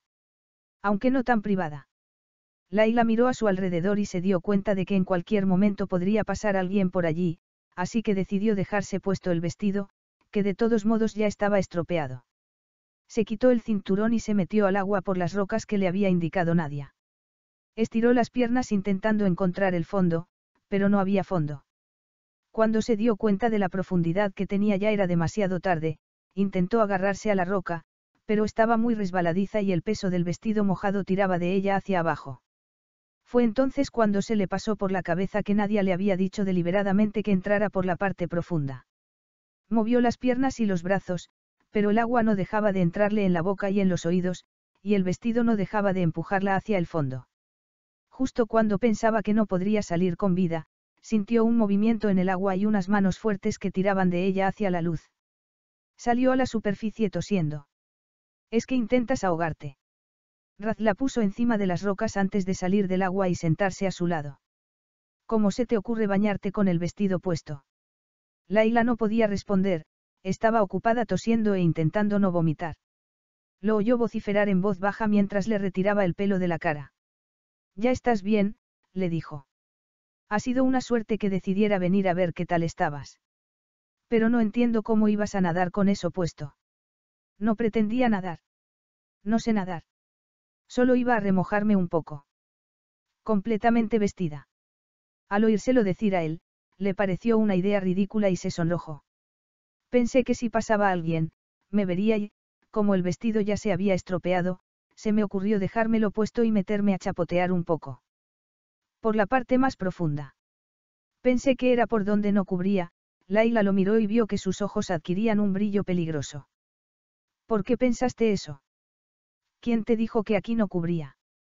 No iba a decírselo para que aquella mujer la odiara aún más. Ha sido culpa mía, murmuró. Debería haberlo comprobado antes. Sin decirle nada, Raz le desabrochó el vestido. Quítate esto y ve al otro extremo donde solo te cubre hasta la cintura. Allí estarás a gusto y te prometo que nadie te molestará. ¿Dónde vas tú? Tengo pendiente una conversación que no puedo aplazar, le explicó con la voz llena de furia antes de ponerse en pie y echar a andar hacia la tienda. Poco después, Laila oyó la voz de Raz y cerró los ojos porque, si nadie la había odiado antes, iba a odiarla más cuando Raz acabara de hablar con ella. Creyó oír sollozos y lamentó que la situación estuviese complicándose tanto y, sin conocer bien los hechos, no sabía muy bien qué hacer. Decidió entretenerse con los asuntos prácticos, se quitó el vestido y se metió de nuevo en la laguna por donde de verdad no cubría. Lo hizo más por no dejar que la venciera el miedo que por lavarse. Esa vez le alivió sentir el fondo bajo los pies. Mientras se banaba, le sorprendió oír a lo lejos risas de niños. No esperaba que allí hubiera niños, pero lo que más le sorprendió fue oírlos reír porque ni siquiera recordaba la última vez que había oído reír así a un niño. Se acordó de todas las veces que había tenido que taparle la boca de niña a su hermana para que nadie oyera sus risas. Pero allí nadie trataba de enmudecer las risas, sino que los niños jugaban libremente. Al pensar en su hermana volvió a sentir el nudo en la garganta. ¿Dónde estaría? Si seguía con vida, Laila no volvería a quejarse por nada nunca más. Le dieron ganas de ir a ver a los niños, pero ya había recibido suficiente hostilidad para un día, así que se limitó a taparse con las toallas y dirigirse a la tienda, rezando para que no estuviera allí nadie. Nada más llegar a la puerta, se quedó paralizada. Había imaginado algo sencillo, pero aquella tienda de campaña no solo estaba completamente amueblada, sino que además estaba lujosamente decorada en tonos rojos y morados. Había un rincón cubierto con enormes almohadones y una cama baja con sábanas de seda y un edredón grueso para las frías noches del desierto. Era un lugar de ensueño. Un lugar, Laila tuvo que tragar saliva, muy romántico. Alguien había dejado comida sobre una mesa, pero Laila no podía pensar en comer después de todo lo sucedido. De verdad nadie la odiaba tanto como para querer que muriera. ¿Qué le habría dicho Raz para provocarle semejante reacción? Se puso la ropa y se sentó en los almohadones. Sin nada más con lo que entretenerse que su imaginación, pasó el día dando tantas vueltas a la cabeza que cuando por fin apareció Raz, estaba hecha un manojo de nervios. No has tocado la comida, fue lo primero en lo que se fijó él. ¿Te encuentras mal después del incidente de la laguna? No, pero no tengo hambre. Si no comes, te pondrás enferma. No le dijo que ya se encontraba como si estuviese enferma, ni que los nervios le habían provocado un nudo en el estómago que no le dejaba espacio para la comida. No voy a ponerme enferma. Estoy en muy buena forma. Pero no sabes nadar. En el palacio no había ningún lugar en el que nadar, así que nunca tuve oportunidad de aprender. Pues eso hay que arreglarlo, se asomó a sus labios algo parecido a una sonrisa. Nadar en un oasis es uno de los grandes placeres de la vida. El corazón le latía con tal rapidez que tenía miedo de desmayarse y, cuando él la agarró de la mano y la acercó hacia sí, dejó de respirar. Siento lo que te ha pasado antes. Nadia es. No quiero hablar de Nadia. No tiene nada que ver con lo que está pasando entre tú y yo y ya me he encargado de ella. Ahora necesitas relajarse, le dijo con voz suave mientras le retiraba el pelo de la cara. Estás muy tensa y no tienes por qué estarlo. No estoy tensa. Claro que lo estás y es normal, jugueteaba con un mechón de su pelo. Estoy seguro de que no es así como soñabas que fuera tu noche de bodas. Nunca soñé con mi noche de bodas. No soy una persona muy soñadora, Alteza. Raz, frunció el ceño al notar que Laila se apartaba. No tienes por qué tenerme miedo. No era el miedo lo que hacía que se le encogiera el estómago, pero tampoco sabía bien lo que era porque no reconocía aquella sensación. Lo único que sabía era que jamás se había sentido tan incómoda en toda su vida. Estaba claro que él pensaba que se había pasado sus años de formación soñando con bodas y finales felices, pero lo cierto era que no podría haber nada más lejos de la realidad. No soy una persona romántica, le recordó. Pensé que ya se lo había dicho. Espero que no suponga un problema. Imaginaba que preferiría que fuera así. Quizá esperaba que se enamorara de él locamente, pero ella sabía que eso no ocurriría jamás. En la tienda hacía mucho calor y él estaba tan cerca que también podía sentir el calor de su cuerpo. Laila no tenía ni idea de lo que debía hacer. ¿Acaso se suponía que tenía que besarlo? ¿O sería él el que debía dar el primer paso? Laila habría deseado tener tiempo para estudiar las distintas opciones. Lamentaba no haber leído aquel libro hacía mucho, en lugar de haberlo agarrado en el último momento, antes de escapar del palacio y de su antigua vida. Había tantas cosas que no sabía. Para empezar, había dado por hecho que todo sucedería más rápido, pero él parecía querer tomarse su tiempo. Había bajado la mano de su pelo a su mejilla y el modo en que movía los dedos no dejaba de inquietarla. El estómago se le encogió aún más y se le aceleró el pulso de nuevo. Quería apartar la mirada de él, pero sus ojos parecían haberla atrapado. Entonces vio que bajaba la vista hasta su boca y volvió a sentirse rara. Y más rara se sintió al oír sus palabras. ¿Con qué soñabas entonces mientras crecías en palacio? ¿Cómo iba a responderle a eso? No había tenido ocasión de pensar en otra cosa que no fuera sobrevivir y proteger a su hermana. La verdad es que no soñaba. Prefiero centrarme en las cosas reales y tangibles. No deseabas nada para el futuro. Si deseaba algo, era que el futuro fuera mejor que el presente, lo vio fruncir el ceño mientras le pasaba un dedo por la mandíbula. El presente era muy duro para ti. ¿Qué podía decirle? Estaba segura de que el de él había sido mucho peor, había perdido a su padre y a la mujer que amaba. Bueno, tenía a mi hermana. Eso es una evasiva, dijo, a punto de sonreír de nuevo. Pero te lo permito porque en nuestro dormitorio no hay sitio para el pasado. Nuestro dormitorio. Le tomó el rostro entre las manos y se lo levantó suavemente hacia el suyo.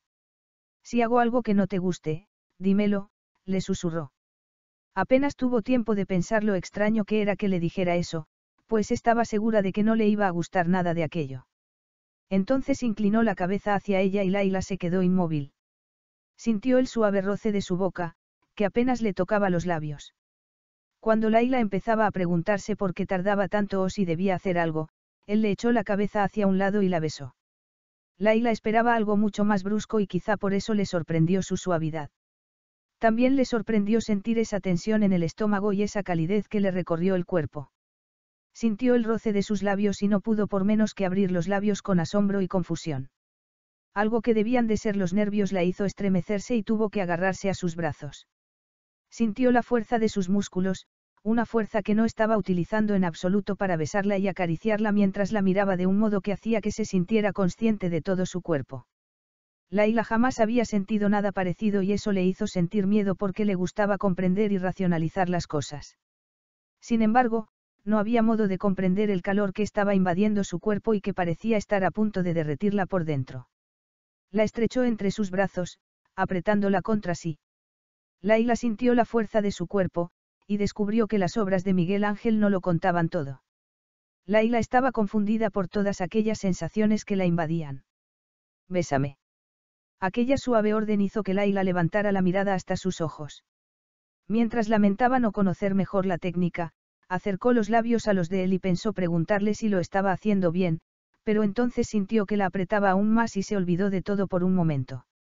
Sabía que tenía las mejillas sonrojadas y que sus labios abrían a confusión e inseguridad, pero seguía besándola tan despacio que era una verdadera agonía.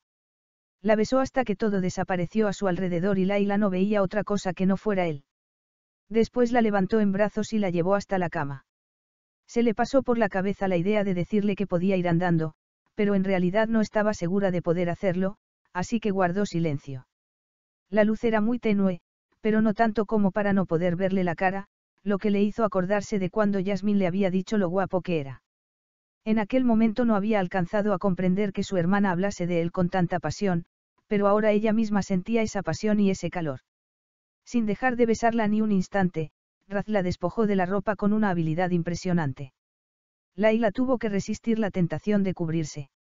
Nunca se había sentido tan fuera de lugar y tan insegura, lo único que pudo hacer fue mirarlo mientras se quitaba la camisa sin apartar los ojos de ella ni un instante. Laila apenas podía respirar porque, a pesar de su falta de experiencia y de su desinterés por el cuerpo masculino, debía reconocer que estaba perfectamente proporcionado. No pudo evitar pasear la mirada por sus hombros y por su torso, ligeramente cubierto de vello oscuro, y más abajo, hasta el abdomen. No bajó más la mirada porque él le levantó la cara y la obligó a mirarlo a los ojos. ¿Estás asustada? No, respondió con un susurro.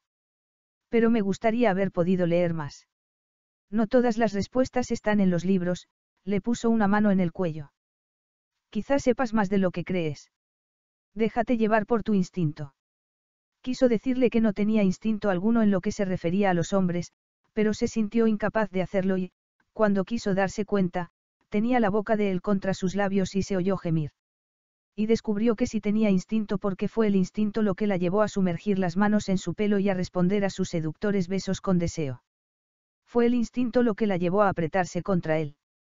Después se preguntaría cómo era posible que un beso pudiese desencadenar una reacción en todo el cuerpo, pero en aquel momento no podía preguntarse nada más que iba a pasar a continuación. Lo que ocurrió fue que Raz le besó el cuello lentamente, entreteniéndose del mismo modo que lo había hecho antes.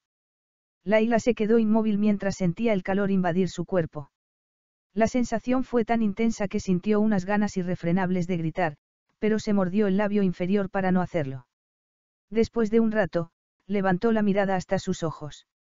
A Laila le resultó imposible no mirarlo. Se quedaron mirándose el uno al otro durante varios segundos. Había en sus ojos una dureza y una frialdad que Laila deseaba no haber visto. A continuación, él apagó la única vela que iluminaba la tienda y lo dejó todo a oscuras.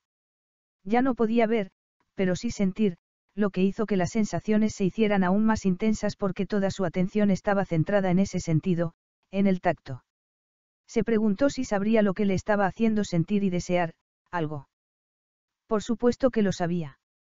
Una vez más, recordó las palabras de su hermana cuando le había contado que los rumores afirmaban que Raz era un magnífico amante. Ahora sabía que esos rumores eran ciertos. Ahora comprendía que le hubiera dicho que él le enseñaría todo lo necesario. Le daba cierta vergüenza que conociera su cuerpo mejor que ella misma, pero no tanta como la que sintió cuando sus manos expertas exploraban su cuerpo. No sabía si hacía las cosas tan despacio por respeto a su falta de experiencia o simplemente para torturarla. Jamás habría imaginado que pudiera sentir algo así. No veía nada, por eso no estaba preparada cuando de pronto sintió su boca en el mismo sitio donde habían estado sus dedos. La sorpresa fue tan grande que intentó apartarlo, pero él la agarró de las muñecas y siguió con lo que estaba haciendo. Y resultó ser algo increíblemente placentero, algo que hizo una y otra vez hasta que se quedó temblando y empapada, hasta que las sensaciones se hicieron más fuertes que la vergüenza y el calor de su cuerpo fue tan intenso que creía que iba a explotar. Sabía que había algo más, que su cuerpo estaba tratando de llegar a algo y se movió con inquietud intentando encontrarlo, pero entonces él se movió también y se colocó junto a ella. ¿Estás bien? Le preguntó él con una voz profunda y masculina. Laila abrió los ojos y respondió que sí, aunque no sabía si era cierto. No estaba bien, se sentía vulnerable y tan insegura como se había sentido en la laguna, pero en lugar de ahogarse en el agua, esa vez lo que la ahogaban eran las sensaciones. No comprendía lo que estaba ocurriendo, pero sabía que quería que continuase, lo necesitaba, y cuando él inclinó la cara y la besó, ella respondió sin dudarlo. Se retiró ligeramente solo para volver enseguida.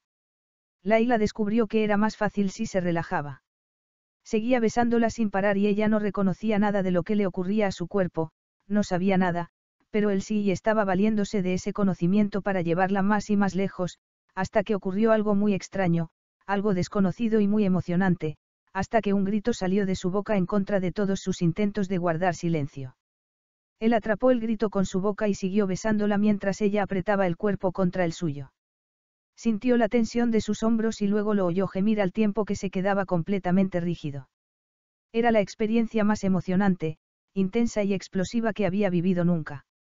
Después, Laila se quedó inmóvil, con la certeza de que llevaba 23 años viviendo consigo misma y no se conocía en absoluto. Ni siquiera habría podido imaginar que fuera capaz de sentir algo así. De pronto, todo lo que creía saber de sí misma le parecía una falacia. Nunca se había considerado una persona romántica, ni especialmente sensible en el terreno físico. Nada podría haberla preparado para lo que acababa de experimentar y ahora sabía que tampoco podría haberlo hecho un libro. Nada que leyera podría haberla preparado para aquel placer. Laila se quedó allí, asombrada y desconcertada, sin saber qué decir. Acababan de compartir la mayor intimidad posible, pero seguían siendo dos desconocidos. Antes de que se le ocurriera algo adecuado que decir, él se apartó de ella y se levantó de la cama. Mientras lo oía vestirse en la oscuridad, Laila se preguntó si era normal que el hombre se levantara de la cama después, o quizá aquella reacción tenía algo que ver con su primera esposa. Sería por eso por lo que había apagado la vela, para poder imaginar que estaba con otra. O porque no soportaba ni mirarla. Parecía que iba a salir de la tienda sin mirarla siquiera, pero entonces se detuvo, ya con la mano apartando la tela de la entrada. La luz de la luna se coló en el interior de la tienda y Laila pudo verlo bien. Vio el gesto duro de su hermoso rostro y la frialdad de sus ojos, tan negros como la noche. Lo miró en silencio, intentando comprender lo que estaba ocurriendo. Pero no tenía la menor idea de lo que significaba su mirada, ni de lo que pensaba. Deseó no haber abierto los ojos y haber fingido que dormía, cualquier cosa que la hubiera ayudado a evitar una situación tan desconcertante. Debería decir algo. ¿Acaso él esperaba que dijera algo? Y, entonces, antes de que decidiera si hablar o no, Raz se dio media vuelta y salió de la tienda, dejándola sola. Capítulo 5. Por muy deprisa que galopara, no conseguía escapar de sus sentimientos. Llevaba en la boca el amargo sabor de la traición y el pasado era una herida abierta que no había manera de curar. Tenía multitud de cosas de las que ocuparse, pero lo único en lo que podía pensar era en Laila. El desprecio que había sentido toda la vida por su familia había hecho que recibiera su ofrecimiento con desconfianza, y ni siquiera cuando se había dado cuenta de que no era la joven mimada y arrogante que él creía había ablandado su actitud. Pero ahora llevaba su olor pegado a la piel y el sonido de sus suaves gemidos retumbaba en su cabeza. De pronto la imaginó escondiéndose el libro de reproducción antes de abandonar el único hogar que había conocido, la vio montándose a un caballo a pesar de no saber montar y yendo en busca de un hombre que odiaba a su familia, dispuesta a casarse con él para proteger a su hermana. La recordó estremeciéndose bajo sus manos mientras le mostraba lo que podía hacer y sentir su cuerpo. La imagen le provocó un repentino calor que le hizo vociferar en voz baja. Pero por mucho que la respetara y mucha química que hubiera entre ellos en la cama, Raz seguía sin estar preparado para sentir nada por otra mujer, y tampoco quería que ella sintiera nada por él. Sería lo que parecía ser, o sería una oportunista que había querido protegerse cambiando de bando. La enemistad entre sus familias le había hecho desconfiar de todo lo que procediese de ellos. Entonces, ¿por qué le daba tanta rabia haberle hecho daño? Con la mirada clavada en el amanecer, Raz se dijo a sí mismo que era mejor sentir rabia que otras emociones más tiernas, capaces de acabar con un hombre más rápido que una espada. No debería estar aquí solo, Alteza, era Abdul, que nunca se alejaba demasiado de él. No parece que esté tan solo, respondió Raz con una ironía que su consejero prefirió no oír. Sé que esto es difícil para usted, pero ha hecho lo que debía hacer casándose con ella. De verdad. Lamentó haber hablado con dureza porque no tenía la costumbre de revelar su debilidad. Tenemos que vigilar a Nadia. Sí. Supongo que estará muy molesta, pero su esposa sabrá afrontarlo. Parece una joven muy sensata. Raz podría haberle dado la razón, pero sabía que no era su sensatez ni su lógica lo que lo atormentaba. Era algo mucho más íntimo e infinitamente más peligroso. Laila despertó lentamente. Oyó animales, risas de niños y voces de adultos. Ninguna de ellas era la de Raz. Su lado de la cama estaba frío. A ella le dolía el cuerpo, lo que hacía que le resultara imposible olvidar lo que habían compartido la noche anterior. Sabría lo que le había hecho sentir. Por supuesto que lo sabía. Era un gran conocedor de la materia, en todo momento había sabido lo que le estaba haciendo. Lo que no podía saber era lo que le había hecho sentir por dentro. ¿Cómo iba a saberlo si ni siquiera lo entendía ella? Alteza. Era Nadia, de pie en la entrada de la tienda, con la mirada clavada en la ropa que había quedado amontonada en el suelo. Me han pedido que la ayude a vestirse y le traiga cualquier cosa que necesite. Laila no tenía ni idea de lo que necesitaba. Se sentía como un rompecabezas que alguien hubiera tirado al suelo. No sabía cómo colocar de nuevo las piezas, ni tampoco sabía cómo hacer las paces con Nadia. No le gustaba ver el dolor que sentía y saber que, en cierto modo, ella era la causa de dicho dolor. Era la primera vez que se veían desde el incidente de la laguna, pero Laila pensó que Raz ya le habría dicho todo lo necesario, así que no sacó el tema. No necesito nada, gracias. Pensó en preguntarle dónde estaba Raz, pero no quería que supiese lo mucho que le importaba su ausencia. Entonces se preguntó si Nadia estaría enamorada de Raz, o si la trataba así simplemente por ser quien era. Al final pudo más la preocupación que el orgullo. Ha visto a su Alteza. Dicen que ha ido a ver a Hassan para hablar con él. Si lo matan, la culpa será de usted, le dijo antes de salir de la tienda. No le preocupaba que Raz no fuera lo bastante fuerte para enfrentarse a él, sino lo que pudiera hacer Hassan ahora que se sentía acorralado. La preocupación hizo que las horas se le hicieran eternas. Sin una biblioteca cerca, no tenía nada con lo que distraerse y relajarse. Le habría encantado poder hablar con alguien, pero nadie se acercaba a ella. Se dio cuenta de que, cuando le había propuesto a Raz que se casara con ella, no se había parado a pensar cómo reaccionarían los demás. Pensarían todos que había puesto en peligro a Raz. ¿Y si nadie tenía razón? ¿Y si Hassan los encontraba allí? Fue el día más largo de su vida, un día que pasó sola, sentada en el oasis, consciente de un dolor que no reconocía. De vez en cuando oía risas de niños y se acordaba tanto de su hermana que se le hacía un nudo en la garganta. ¿Dónde estaría? Estaría bien. La habría encontrado Salem. Si Hassan la había encontrado antes que Salem, quizá estuviera ya rumbo a Estados Unidos. El ruido de gente fue desapareciendo hasta que solo quedaron los sonidos de la noche. Laila estaba tan tensa que podía oír su propia respiración mientras se preguntaba una y otra vez si iba a volver Raz y si sería como la noche anterior. Esas preguntas estuvieron rondándole la cabeza hasta que acabó quedándose dormida. Cuando despertó había ya luz afuera, pero su mitad de la cama seguía vacía. No había vuelto. Estaba tan preocupada, que decidió tragarse su orgullo e ir a buscar a Nadia. Su Alteza nunca dice cuáles son sus planes. Ahora que la ha traído a usted, el peligro que corre él es aún mayor, le respondió la otra mujer con una frialdad rayana en la grosería. Al no poder rebatirla, Laila prefirió salir de allí y lo hizo con la ansiedad que le provocaba el saber que quizá hubiera empeorado las cosas en lugar de mejorarlas como había pretendido. Claro que quizá su ausencia no tenía nada que ver con Hassan, sino con algo más personal. Quizá relacionado con la noche que habían pasado juntos. Estaría pensando en su mujer. Laila pasó otro día sola con su imaginación y se acercaba ya la segunda noche cuando oyó caballos y supo que era él. El alivio enseguida dejó paso a otras emociones más complejas. Llevaba dos días deseando verlo, pero ahora que estaba allí, lamentó no estar sola ya porque no sabía qué hacer ni qué decir. No podía comportarse como una esposa preocupada, pero aún así estaba preocupada. Lo oyó hablar con gente, pero no entraba a la tienda. Parecía tener tiempo para todo el mundo, excepto para ella. O quizá estaba esperando que estuviese completamente oscuro porque no podía siquiera mirarla a la cara. Al pensar aquello, la vergüenza que sentía al pensar en la noche que habían pasado juntos se convirtió en humillación. Todo el mundo sabría que el jeque no tenía ninguna prisa por estar con su nueva esposa. Lo cual demostraba una vez más que la intimidad física no significaba intimidad sentimental alguna. En ese momento, se sintió más sola de lo que se había sentido en toda su vida. Al menos cuando vivía en el palacio contaba con Yasmín. Su vida había sido muy desgraciada, pero por lo menos conocía las reglas, lo que sentía y por qué. Había sabido lo que se esperaba de ella, pero allí estaba completamente sola, con un hombre que parecía odiarla tanto que no podía ni mirarla a los ojos, y atormentada por unas emociones que desconocía por completo.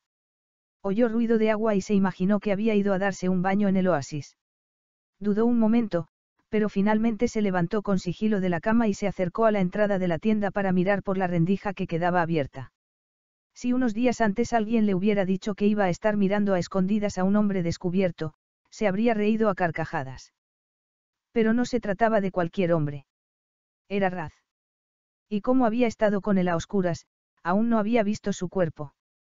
Tampoco podía verlo bien en aquel momento, solo alcanzaba a vislumbrar los músculos de sus brazos mientras nadaba. Al llegar al extremo de la laguna se dio media vuelta y ella salió disparada hacia la cama por miedo a que pudiera descubrirla. Cuando por fin entró en la tienda, ella estaba a salvo bajo las sábanas, con los ojos cerrados. Oyó sus pasos, luego se detuvo y supuso que estaría mirándola.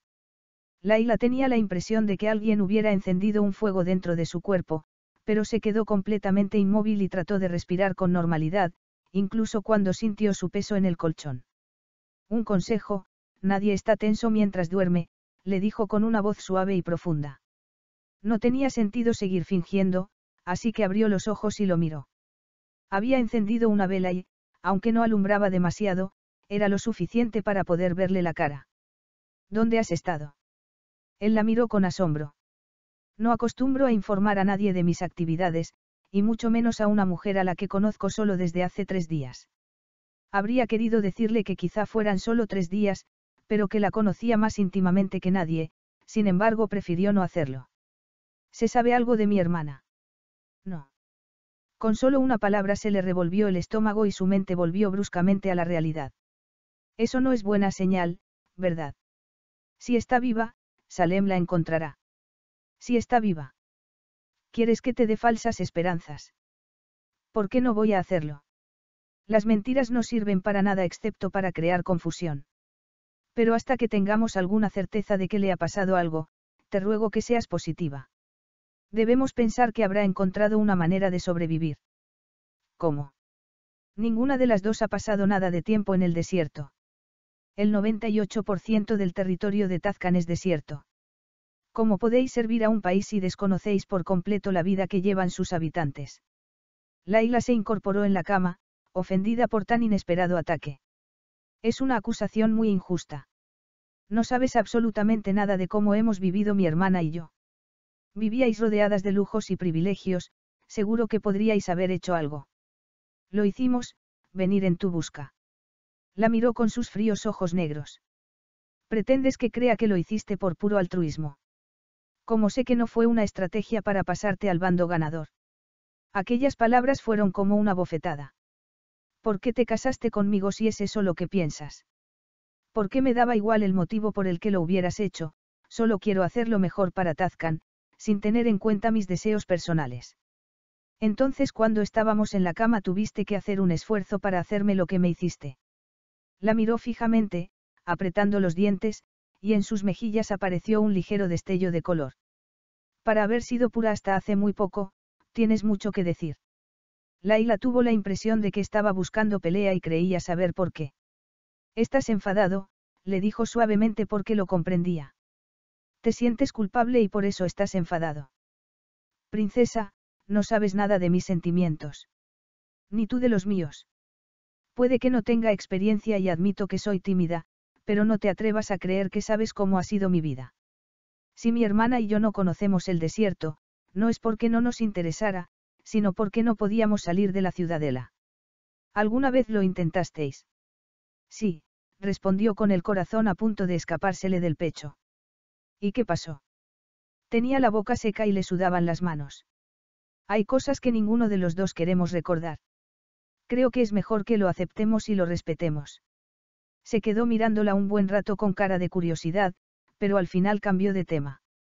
Si tu hermana está en el desierto, Salem no tardará en encontrarla. Dicho eso, apagó la vela y se desvistió a oscuras antes de tumbarse a su lado. Laila se alejó lo más que pudo y se quedó inmóvil, sin apenas atreverse a respirar por miedo a rozarlo. Piensas que vine a buscarte solo para seguir con una vida llena de lujos que nunca he tenido y aún así quieres compartir cama conmigo. Estamos casados. Pero tú no te fías de mí. No hace falta fiarse de una persona para acostarse con ella, princesa, le explicó al tiempo que la agarraba y la apretaba contra sí. Solo hace falta que haya química y, por suerte, de eso tenemos mucho. Laila se preguntó si podría sentir sus escalofríos y el modo en que le latía el corazón. Quería preguntarle por qué tenía que apagar la luz antes de meterse en la cama con ella, pero antes de que pudiera decir nada sintió su boca en los labios y su mano en la nuca. Con un rápido movimiento la tumbó boca arriba sin dejar de besarla. Su cuerpo reaccionó de inmediato con una exaltación que era más fuerte que la preocupación y la tristeza. Así era como iba a ser su relación. Sin verse en todo el día y juntos por la noche como dos desconocidos íntimos. Intentó controlar la respuesta de su cuerpo, pero la sensual sabiduría de su boca no le dejó otra opción que besarlo con la misma pasión. Igual que había hecho la otra vez, consiguió volverla loca con sus besos y sus caricias. La única diferencia era que ahora sabía lo que ocurriría después, alcanzando la cima del cielo casi inmediatamente. Después se quedó paralizada y no agradeció la protección que le brindaba la oscuridad, sino que le dolía que solo pudiera estar con ella si no la veía. Le dolía más de lo que jamás habría creído posible. Respiró hondo para reunir el valor necesario para hablar con él, pero antes de que pudiera pronunciar una sola palabra, se oyó un chillido agudo que procedía de muy cerca. Laila se sentó de un salto. ¿Qué es eso? Parece un niño. Entonces se oyeron más y más gritos. Raz salió corriendo de la tienda de campaña con la mano sobre el cuchillo. Aquellos gritos lo desgarraban por dentro porque sabía quién gritaba. Abrió la tienda contigua a la suya y vio a la niña sentada en la cama, con los ojos abiertos de par en par, llenos de terror, y la frente empapada en sudor. Nadia estaba a su lado, sin saber qué hacer. No consigo que deje de gritar. Un segundo después Raz tenía a la niña entre sus brazos y la apretaba contra su pecho. ¿Qué le ocurre? Está despierta, pero no me responde. Es como si le hubiera dado un ataque, explicó Nadia como si estuviera defendiéndose. Al mirar a la pequeña a los ojos sintió una agonía tan terrible que se le cortó la respiración. Solía enorgullecerse de su capacidad de decisión, pero en aquel momento, cuando era tan importante hacerlo bien, se había quedado paralizado. Tiene el pulso y la respiración acelerada, avisa a un médico inmediatamente. No es un ataque y no está despierta, dijo una voz tranquila desde la entrada de la tienda. Allí estaba Laila, vestida tan solo con un fino camisón y el pelo alborotado. Tiene terrores nocturnos. Mi hermana también los sufrió cuando tenía más o menos su edad. Es mejor no despertarla. Claro que está despierta, insistió Nadia con dureza. Si tiene los ojos abiertos. Raz no hizo caso. ¿Lo habías visto antes? Le preguntó a Laila, que parecía perfectamente tranquila. Muchas veces. Es muy incómodo para los que lo presencian, pero te aseguro que ella no se acordará de nada cuando se despierte por la mañana. ¿Quién es la persona más cercana a la niña? Laila miró a Nadia, Pero Raz respiró hondo antes de responder. Yo, confesó a su pesar porque aún no había pensado cómo abordar el tema. Si estaba sorprendida, desde luego no lo demostró, ni tampoco le preguntó qué relación tenía con la niña. En ese caso, debería ser tú el que la acueste otra vez. Arrópala para que se sienta segura. Háblale con calma, lo que importa es el tono, no lo que le digas. Cuando vuelva a quedarse tranquila, quédate un rato a su lado. Una vez que esté otra vez profundamente dormida, no suele volver a ocurrir, una vez detalladas las instrucciones, se dirigió a Nadia. Deberíamos salir. Cuanta menos gente haya, mejor. La otra mujer la miró con obstinación. Pero la niña me conoce. Es mejor que solo esté con ella una persona en la que confíe, le respondió con firmeza. Haz lo que ella dice, le ordenó Raz antes de tumbar a la niña. Se le rompía el corazón de verla temblar de ese modo. Habría querido llamar a un médico, pero, por algún motivo, quiso hacer caso a Laila, aunque no comprendía por qué seguía los consejos de una mujer en la que no tenía motivos para confiar. Se quedó con la pequeña, recitándole poesía en voz baja y acariciándole la frente hasta que por fin se calmó y volvió a dormir plácidamente. Raz estuvo allí aún unos minutos más, con los hombros rígidos por la tensión y un intenso dolor de cabeza. Por fin se levantó de la cama y salió de la tienda en buscar de respuestas que le ayudaran a comprender lo sucedido. Encontró a Nadia frente a la tienda, con gesto desafiante. Yo podría haberla cambiado. No deberías haber seguido los consejos de esa mujer. ¿Hace cuánto que le pasa esto? El silencio de Nadia se lo dijo todo. ¿Por qué no me informaste? Le preguntó, iracundo. Estabas fuera. Todo el mundo sabe que quiero estar al tanto de todo lo que le ocurra a mi hija. No pensé que fuera importante. Por la mañana nunca se acuerda de nada. Raz apretó los dientes y los puños, consciente de que debía calmarse un poco antes de decir lo que pensaba. No te muevas de su lado, habría preferido quedarse él, pero necesitaba más información, así que volvió a su tienda. Laila había encendido las velas y estaba en el centro de la tienda, mirando al vacío con evidente tensión. Se volvió hacia él y, por un momento, se quedaron mirándose el uno al otro. El aire se cargó de tensión. Gracias por tu ayuda. Has dicho que eran terrores nocturnos. Sí, mi hermana empezó a sufrirlos cuando tenía unos cinco años y le duraron alrededor de un año, puede que un poco más. Todas las noches se despertaba gritando, con los ojos abiertos de par en par como si estuviera completamente despierta. Tardé un tiempo en averiguar que en realidad estaba dormida. Y averiguaste cuáles son las causas. No hay una única causa, pero sí varias cosas que pueden desencadenarlo, fiebre, agotamiento y, apartó la mirada de él antes de decirlo. El estrés. Raz comprendió que ese había sido el desencadenante en el caso de su hermana.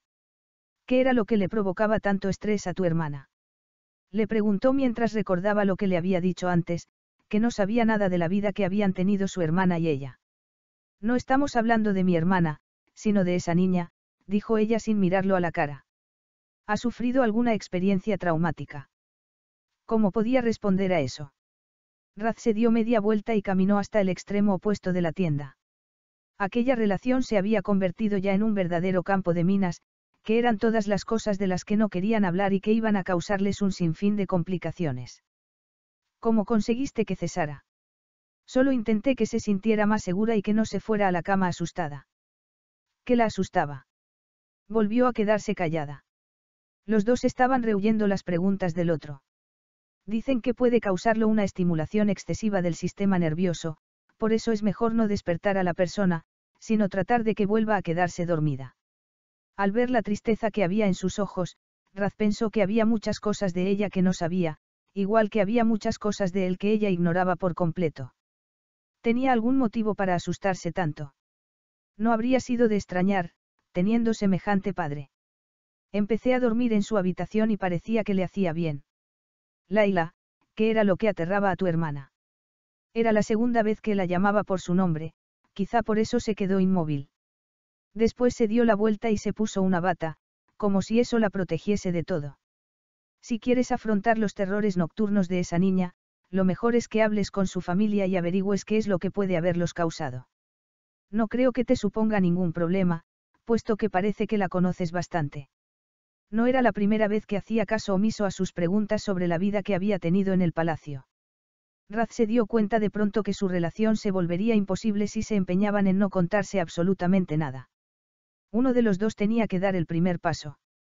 La conozco mejor que nadie, tuvo que hacer un gran esfuerzo para seguir hablando y superar su costumbre de no compartir sus intimidades con nadie. Es mi hija. Capítulo 6. Tu hija. Laila lo miró, asombrada por una noticia para la que no estaba preparada. Tienes una hija. Tiene seis años. Laila se sentó en la cama, tratando de asimilar la poca información que tenía. Yo, no lo sabía. No tenía ni idea. Definitivamente, aquel hombre era un completo desconocido, por mucha intimidad física que tuviera con él. Muy poca gente lo sabe y los que lo saben no hablan de ello. ¿Por qué? ¿Por qué no quieres que se sepa que tienes una hija? Perdí a mi padre y a mi mujer, no terminó la frase. No hacía falta que lo hiciera.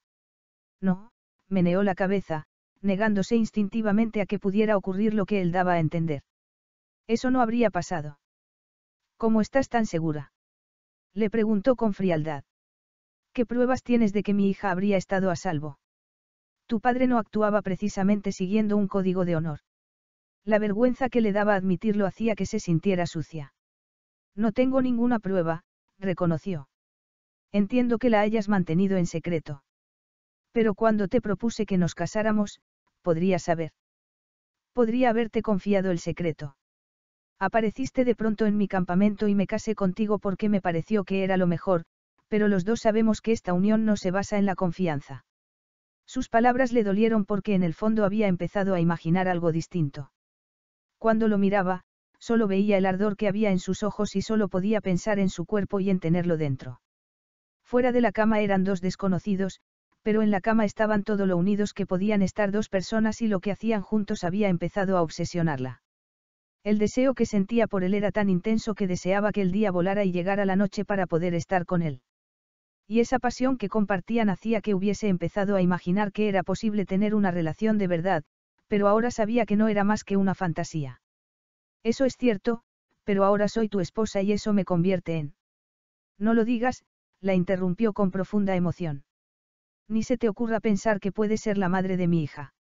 Sus palabras se le clavaron en el corazón como un puñal, pero trató de comprender por qué reaccionaba así. El que la besara y estuvieran juntos no significaba que fuera a confiarle a su hija y no podía culparlo por ello. Solo quería proteger a su hija y estaba claro que seguía pensando que ella podría ser una amenaza.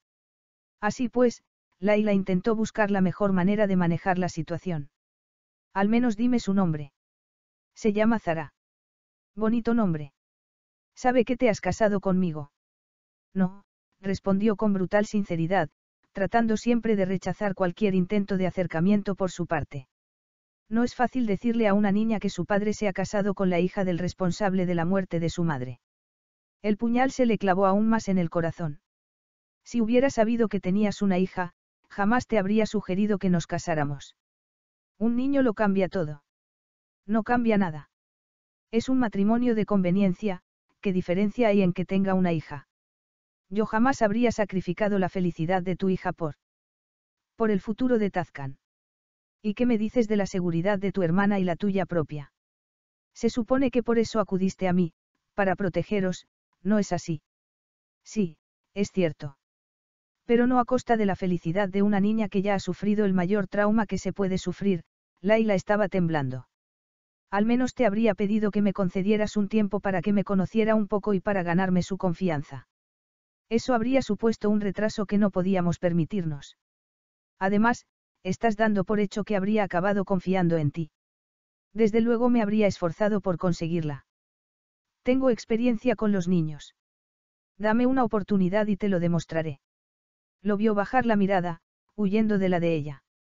No, vamos a esperar a ver si se le pasan los terrores nocturnos y luego ya veremos.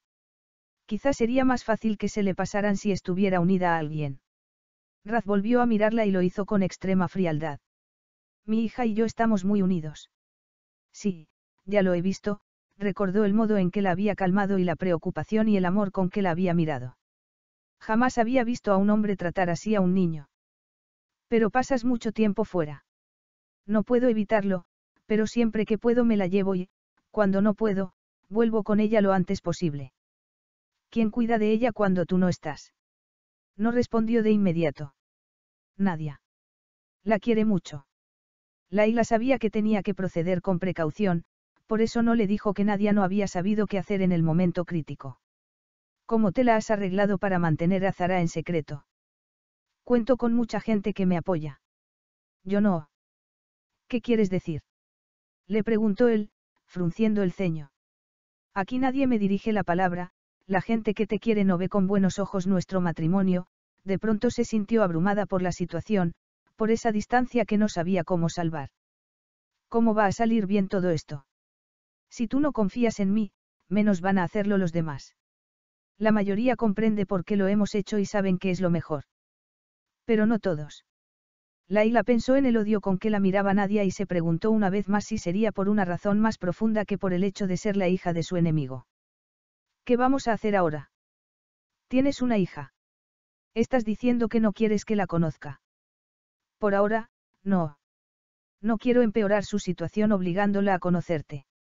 Comprendía que quisiera protegerla, pero le dolía que pensara que ella podría empeorar la situación de la pequeña. Si eso es lo que quieres, dijo Laila mientras pensaba lo que habría dado por tener un padre que cuidara tanto de ella. Pero no creo que sea lo mejor. ¿Crees que sabes mejor que yo lo que le conviene a mi hija? No, lo que creo es que no me conoces. Cuando te casaste conmigo tenías un montón de ideas preconcebidas sobre mí y no te culpo por ello, pero me parece que para que esto salga bien tienes que empezar a verme tal como soy.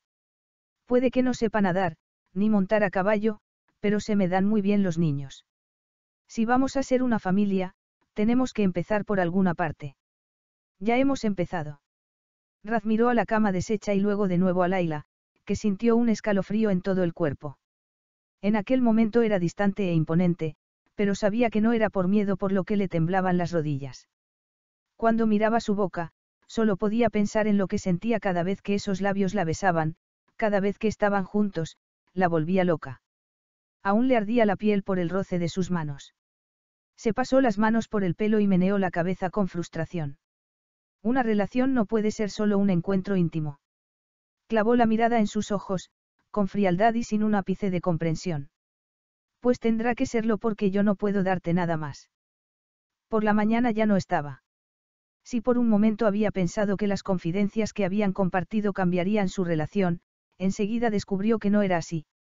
Esa vez, cuando oyó las risas de los niños, pensó que uno de ellos era su hija. No le resultaba natural no acercarse a ella y entablar una relación con ella, pero Raz le había dejado muy claro lo que quería, así que respetó sus deseos. La niña parecía feliz, jugaba y se reía como los demás, sin temer que sus risas pudieran molestar a alguien.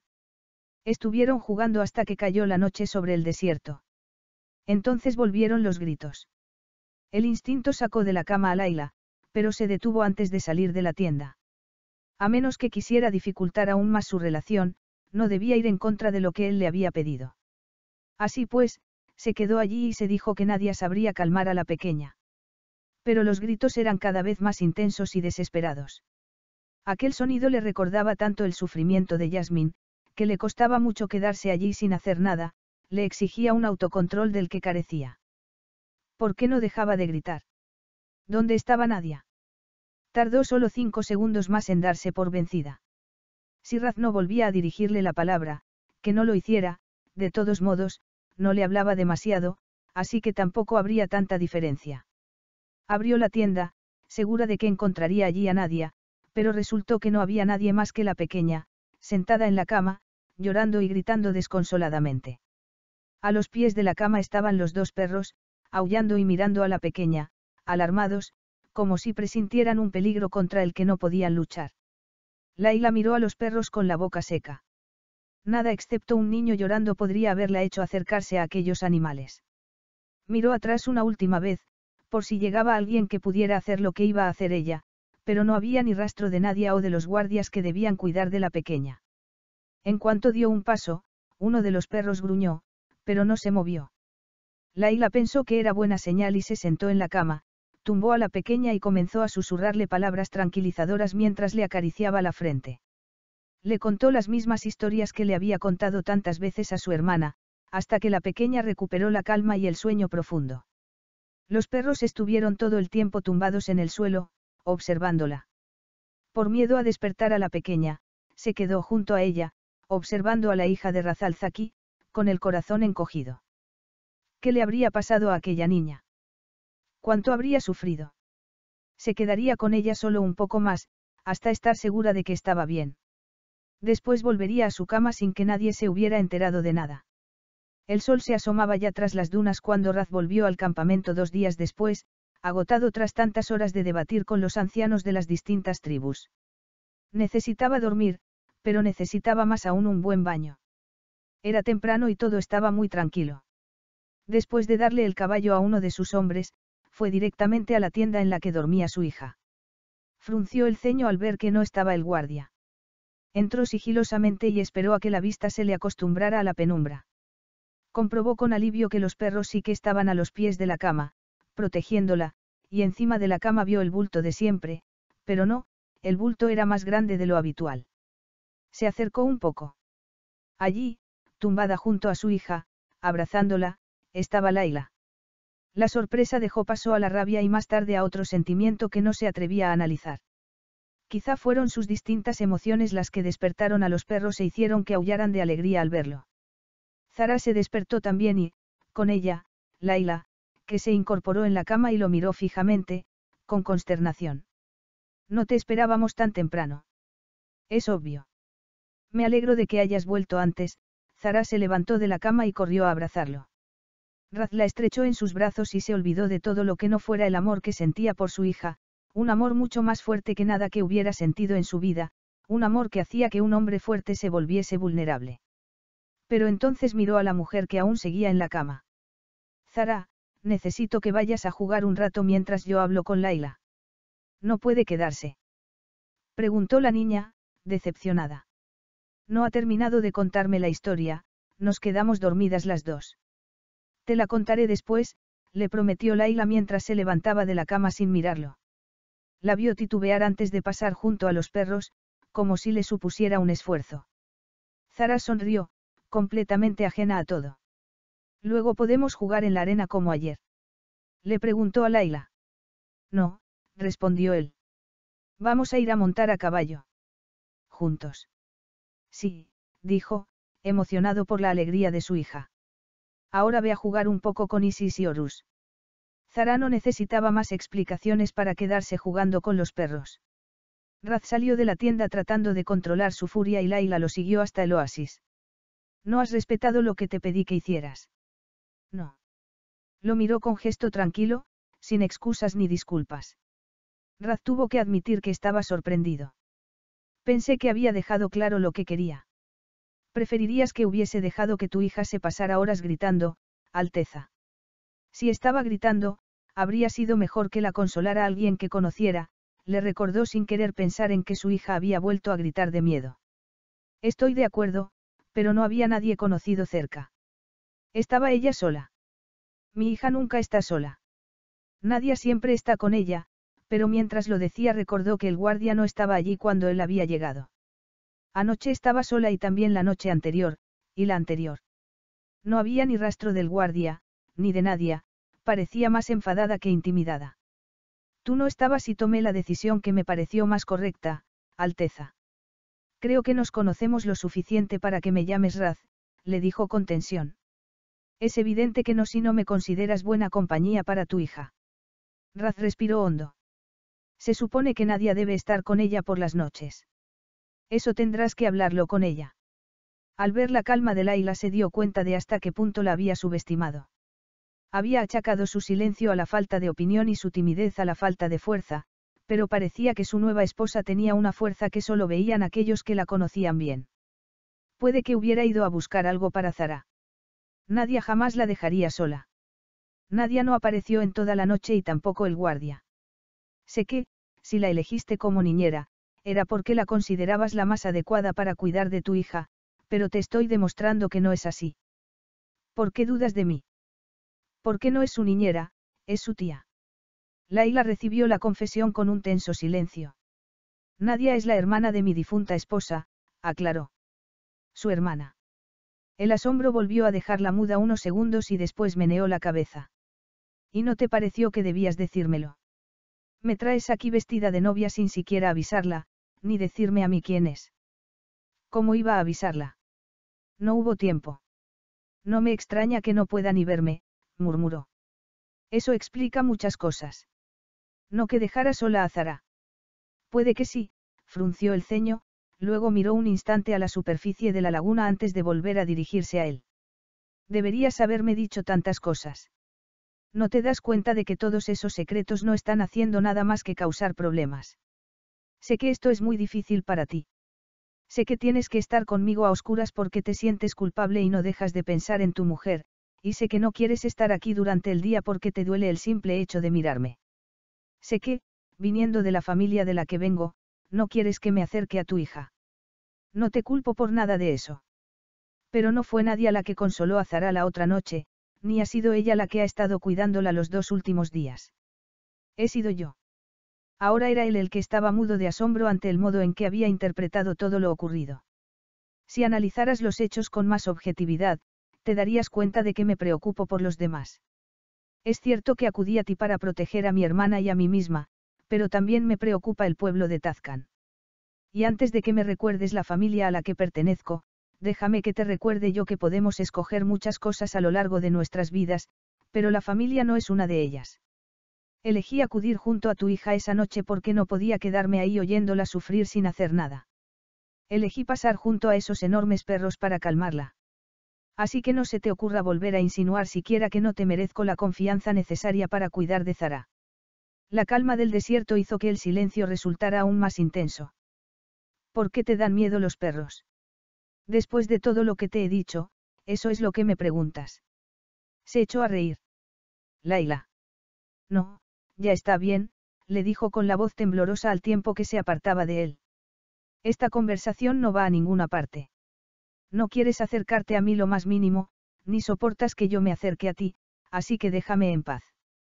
Capítulo 7. Laila iba de un lado a otro de la tienda, tan furiosa que no sabía cómo calmarse. Una vez más estaba inmersa en unas emociones completamente nuevas para ella y que no alcanzaba a comprender. ¿Por qué le molestaba tanto la actitud de Raz? Por supuesto que no confiaba en ella, apenas la conocía. Por supuesto que no quería que se acercase a su hija, una niña a la que intentaba proteger después de todo el sufrimiento que le había causado su familia. Si lo comprendía, ¿por qué le dolía tanto? ¿Y por qué no podía estar con él sin pensar en la intimidad? En realidad sabía la respuesta. Pensaba tanto en la intimidad porque, cuando estaban juntos, él se comportaba como si le importara, cuando le agarraba el rostro entre las manos parecía que sintiera algo y era increíble. Tan increíble que quería más. Y, al querer más, quería que significase algo. Todo aquello la estaba volviendo loca.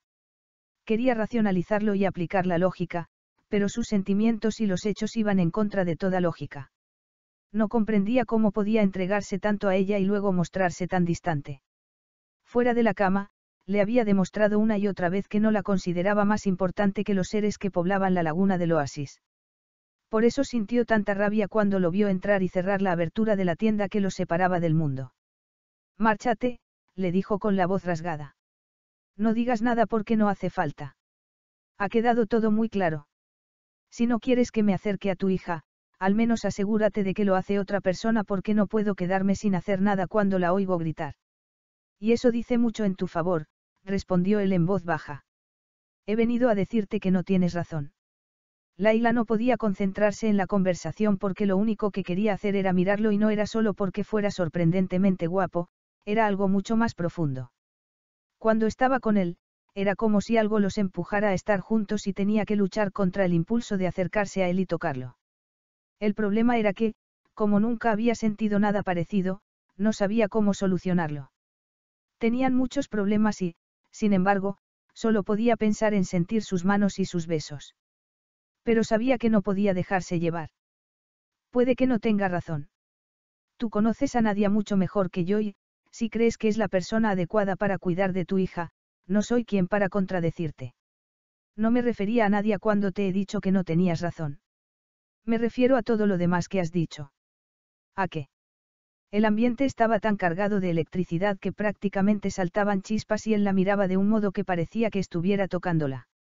Estoy contigo a oscuras no porque esté pensando en mi mujer, sino porque eres muy tímida y no quiero que lo pases mal. La primera noche ni siquiera querías quitarte la túnica para enseñarme las magulladuras, así que pensé que querrías que fuéramos despacio. Despacio. Eso era ir despacio. Estaba temblando y le sudaban las manos. Ah. Tenías tan poca experiencia en la intimidad, que pensé que te sería más fácil si estábamos a oscuras, hizo una pausa para tomar aire. Es cierto que no estoy contigo durante el día, pero es porque tengo un millón de cosas que hacer y la primera es la agitación política que está sacudiendo Tazcan. Hassan ha desaparecido, otro motivo por el que estoy especialmente preocupado por mi hija en estos momentos. ¿Ha desaparecido? Preguntó, aunque aún trataba de asimilar que hubiese tenido tanta consideración con ella. Sí. Hasta que sepamos dónde está, no quiero que mi hija esté sola ni un segundo. Y tú tampoco. Está desesperado y no tiene nada que perder, quién sabe lo que podría hacer. Ya no tiene ninguna posibilidad de ocupar el lugar de tu padre y apenas le apoya nadie. Lo que me recuerda que estos últimos días me he enterado de unas cuantas cosas sobre ti. Sobre mí. Raza sintió. He estado con mucha gente, he visitado hospitales y escuelas, entre ellas una en la que por lo visto trabajas como voluntaria. Me gusta ayudar a los niños que tienen dificultades para leer y los centros no tienen personal suficiente para esas cosas, le explicó casi tartamudeando porque le horrorizaba que le hubiese costado tan poco enterarse de eso cuando ella trataba siempre de pasar inadvertida. ¿Quién te lo ha contado? Todo el mundo estaba deseando decirme lo buena que eres y lo bien que he hecho casándome contigo. Laila se quedó paralizada, perpleja. Pero tú no estás de acuerdo, lo sé. La primera noche te marchaste porque te sentías culpable por lo que habíamos hecho. No, me sentía culpable porque me hubiese gustado tanto. Había accedido a casarme contigo por Tazcan, pero lo que ocurrió aquella noche fue cualquier cosa menos una obligación y no podía disimularlo. Yo, no sabía, dijo, asombrada por su sinceridad. Pensé que era obvio. Alteza. Raz. Laila lo tenía tan cerca que apenas podía respirar. Levantó una mano y se la puso en el pecho, donde pudo sentir los latidos de su corazón. Raz, dijo y se sintió extraña al pronunciar su nombre. Era extraño sentirse tan cerca de alguien. Él le tomó el rostro entre las manos. Te das cuenta de que, a pesar de lo que hemos compartido, es la primera vez que me llamas por mi nombre. Me parecía mal hacerlo. No te conocía. Sintió su mirada en los labios. Ahora sí que me conoces. Parecía muy seguro, mientras que ella estaba hecha un lío. Tú me odias. No, pero reconozco que todo esto es muy complicado. Sé que te gustan los datos concretos, así que te diré que las cosas no están yendo como pensé que irían cuando te presentaste en el campamento aquella noche. Deseaba agarrarlo y besarlo para comprobar si sus besos eran maravillosos a la luz del día como lo eran por la noche. Quería dejarse llevar por lo que sentía y dejar de intentar racionalizarlo todo. Tampoco están yendo como yo pensaba. Te debo una disculpa por haberte ordenado que no te acercaras a mi hija. Soy demasiado protector con ella. Eso es algo que jamás criticaré a ningún padre. Quiero que comprendas que no lo hacía tanto por ser tú, sino por intentar que su vida sea lo más estable posible. Pensé que nadie era la persona adecuada para cuidar de ella, pero parece que me equivoqué. Puede que no, Probablemente haya una razón para que no haya estado con ella estas noches, ¿qué derecho tenía a juzgar el comportamiento de otra persona si ni siquiera entendía el suyo propio? Es posible, pero no creo que vayamos a saberlo pronto, hizo una pausa llena de tensión. Nadie ha desaparecido junto con uno de los guardias. Estamos intentando encontrarlos. En cualquier caso, debo darte las gracias por ser tan amable con mi hija. Aquellas palabras eran tan inesperadas como conmovedoras. Es una niña muy buena y me encanta que sea tan inquieta. Me recuerda mucho a Yasmín. Aquí todo el mundo se ha fijado en lo buena que eres con ella y empiezan a verte con otros ojos. ¿Qué historias le has estado contando que está tan deseosa de irse a la cama? Las mil y una noches. Solía leérselas a mi hermana y pensé que si estaba más relajada en el momento de irse a la cama, quizá durmiera mejor. Buena idea. Ha funcionado. Aún es pronto. Lo que me da lástima es no haberme traído el libro en lugar de dejarlo en el primer campamento. ¿Era ese el otro libro? Sí, es uno de mis preferidos, por eso lo escogí para llevármelo del palacio. Y el de reproducción, le recordó, mirándola a los ojos. Cuestión de prioridades, sabía que estaba sonrojada. E ignorancia. No tienes por qué explicar nada y mucho menos avergonzarte, le dijo. Estos últimos días han debido de ser muy duros para ti. La amenaza de tener que casarte con Hassan, un hombre al que temes y detestas, la huida de palacio, la desaparición de tu hermana, el casarte conmigo, después el accidente en la laguna y luego el tener que vivir con un hombre con el que apenas has mantenido una conversación pero con el que se supone que tienes que acostarte. Laila intentó esbozar una sonrisa. Dicho así, es lógico que esté nerviosa. Muy lógico. Estaría mejor si tuviéramos alguna noticia de Yasmín. Él apartó una mano de su rostro. Por ahora no sabemos nada, pero eso no significa que debas preocuparte. Salem es famoso por lo mucho que le cuesta ponerse en contacto con los demás. ¿Y si Hassan la encontró antes y ahora la tiene en su poder? Entonces, Salem los encontrará, y pobre de Hassan. Laila titubeó un instante antes de lanzar una acusación de la que no tenía pruebas.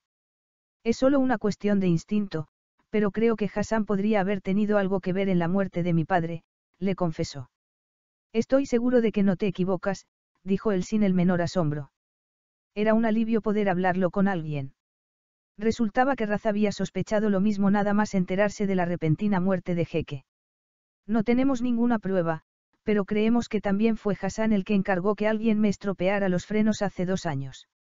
No creo que tuviera intención de matar o de hacer daño a mi esposa porque eso no le habría reportado ningún beneficio político, pero fue mala suerte que ese día justo utilizara mi coche. En su voz había una mezcla de arrepentimiento, culpa y rabia, un dolor tan intenso que Laila lo sintió como si fuera suyo. Lo siento mucho. No te considero responsable en ningún sentido, pero es cierto que Hassan es capaz de cualquier cosa con tal de conseguir poder. Tu padre y él estaban cortados por el mismo patrón. Era la primera vez que se lo oía decir a alguien. Si ha encontrado a mi hermana. Yo confío ciegamente en mi hermano y tú debes hacer lo mismo en estos momentos, se quedó mirándola unos segundos. Zara está deseando ir a montar y, si tú quieres, me encantaría que vinieras y sería un placer enseñarte a montar. No le hacía ninguna gracia volver a subirse a un caballo, pero estaba claro que Raz estaba acercándose a ella y no quería rechazarlo en modo alguno. No te va a ser nada fácil enseñarme. No creo que sea peor que enseñar a Zara cuando apenas caminaba. La enseñaste tan pequeña. Es la mejor edad. Está creciendo rodeada de caballos, como lo hice yo. No me sorprendería que decidiese dedicarse a ellos profesionalmente. ¿La ves trabajando en algo en el futuro? Por supuesto. Lo que no podrá ser nunca es diplomática porque es tan sincera como tu hermana. Laila recordó la de veces que había tenido que llevársela de un sitio antes de que sus comentarios provocaran un conflicto. ¿Estás orgulloso de tu hija? Mucho. El amor que veía en él hacia Zara era tan distinto a lo que ella había vivido de niña que se le hizo un nudo en la garganta y se preguntó cómo podía tener envidia de una niña. Gracias por el ofrecimiento, pero no quiero entrometerme entre tu hija y tú. En los últimos días había descubierto lo poco que se conocía a sí misma, era como estar en el cuerpo de una desconocida. Disfruta del tiempo que tenéis para los dos. No decías que debía darte una oportunidad para que te conociera. Se ve que estáis muy unidos, dijo, casi con dolor. Por eso precisamente no pasa nada porque nos acompañes, la miró fijamente. Pero no es ese el problema, ¿verdad? No hay ningún problema, intentó apartarse, pero él le echó un brazo alrededor de la cintura. Deduzco que no tenías muy buena relación con tu padre. No tienes por qué ocultármelo. Quiero que me lo cuentes. ¿Por qué? ¿Qué más te da? Como tú misma has dicho, los secretos no ayudan a que nuestra relación evolucione. ¿Qué evolución podría haber si él había jurado no volver a amar a nadie después de su mujer? Podría habérselo preguntado, pero no estaba segura de querer escuchar la respuesta. Ahora estaban juntos y eso no podía cambiarlo nadie. No es que no tuviera buena relación, es que no tenía ninguna relación. Él nunca se sintió orgulloso de mí, solo le interesaba el beneficio que pudiera obtener gracias a mí. Yasmín solo lo vio cuatro veces en toda su vida.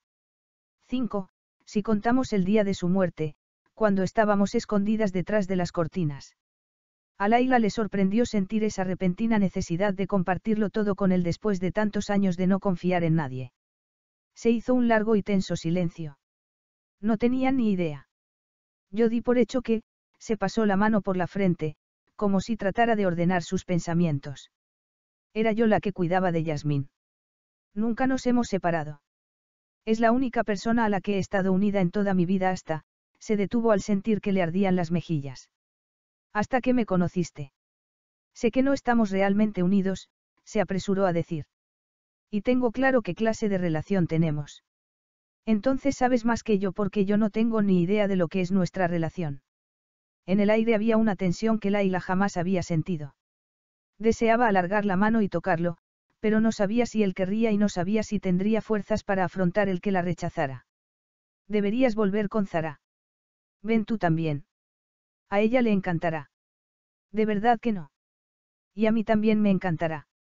Vístete, te esperamos fuera para desayunar antes de ir en helicóptero hasta Boara, a mi casa. ¿Tienes una casa? Creía que vivías en el desierto como un nómada. Paso mucho tiempo en el desierto, para conocer bien a mi pueblo, pero también tengo una casa. Y creo que, después de los últimos días, te mereces un poco de lujo. Si quieres dejarlo, Solo tienes que decírmelo. No quiero dejarlo.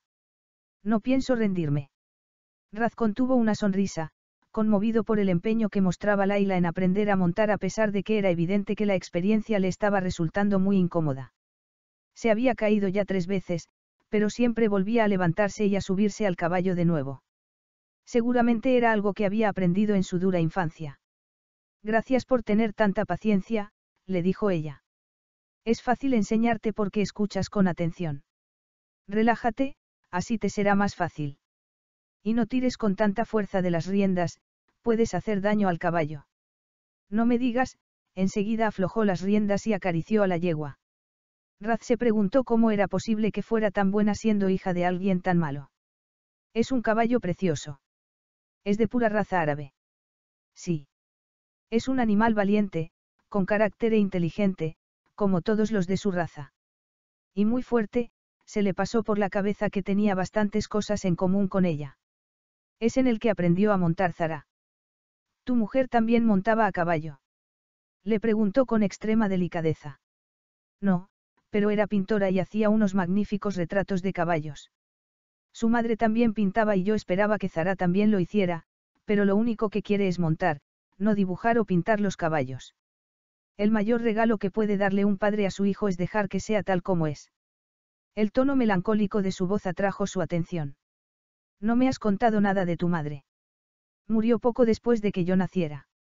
Entonces tu hermana. En realidad es mi hermanastra. Su madre era una modelo que tuvo una aventura con mi padre. Se marchó cuando Jasmine tenía cinco años y no volvimos a verla nunca más. Lo había contado sin la menor emoción, una simple enumeración de los hechos, pero Raz imaginó lo que debía de sentir por dentro. Pero has dicho que tú cuidabas de tu hermana.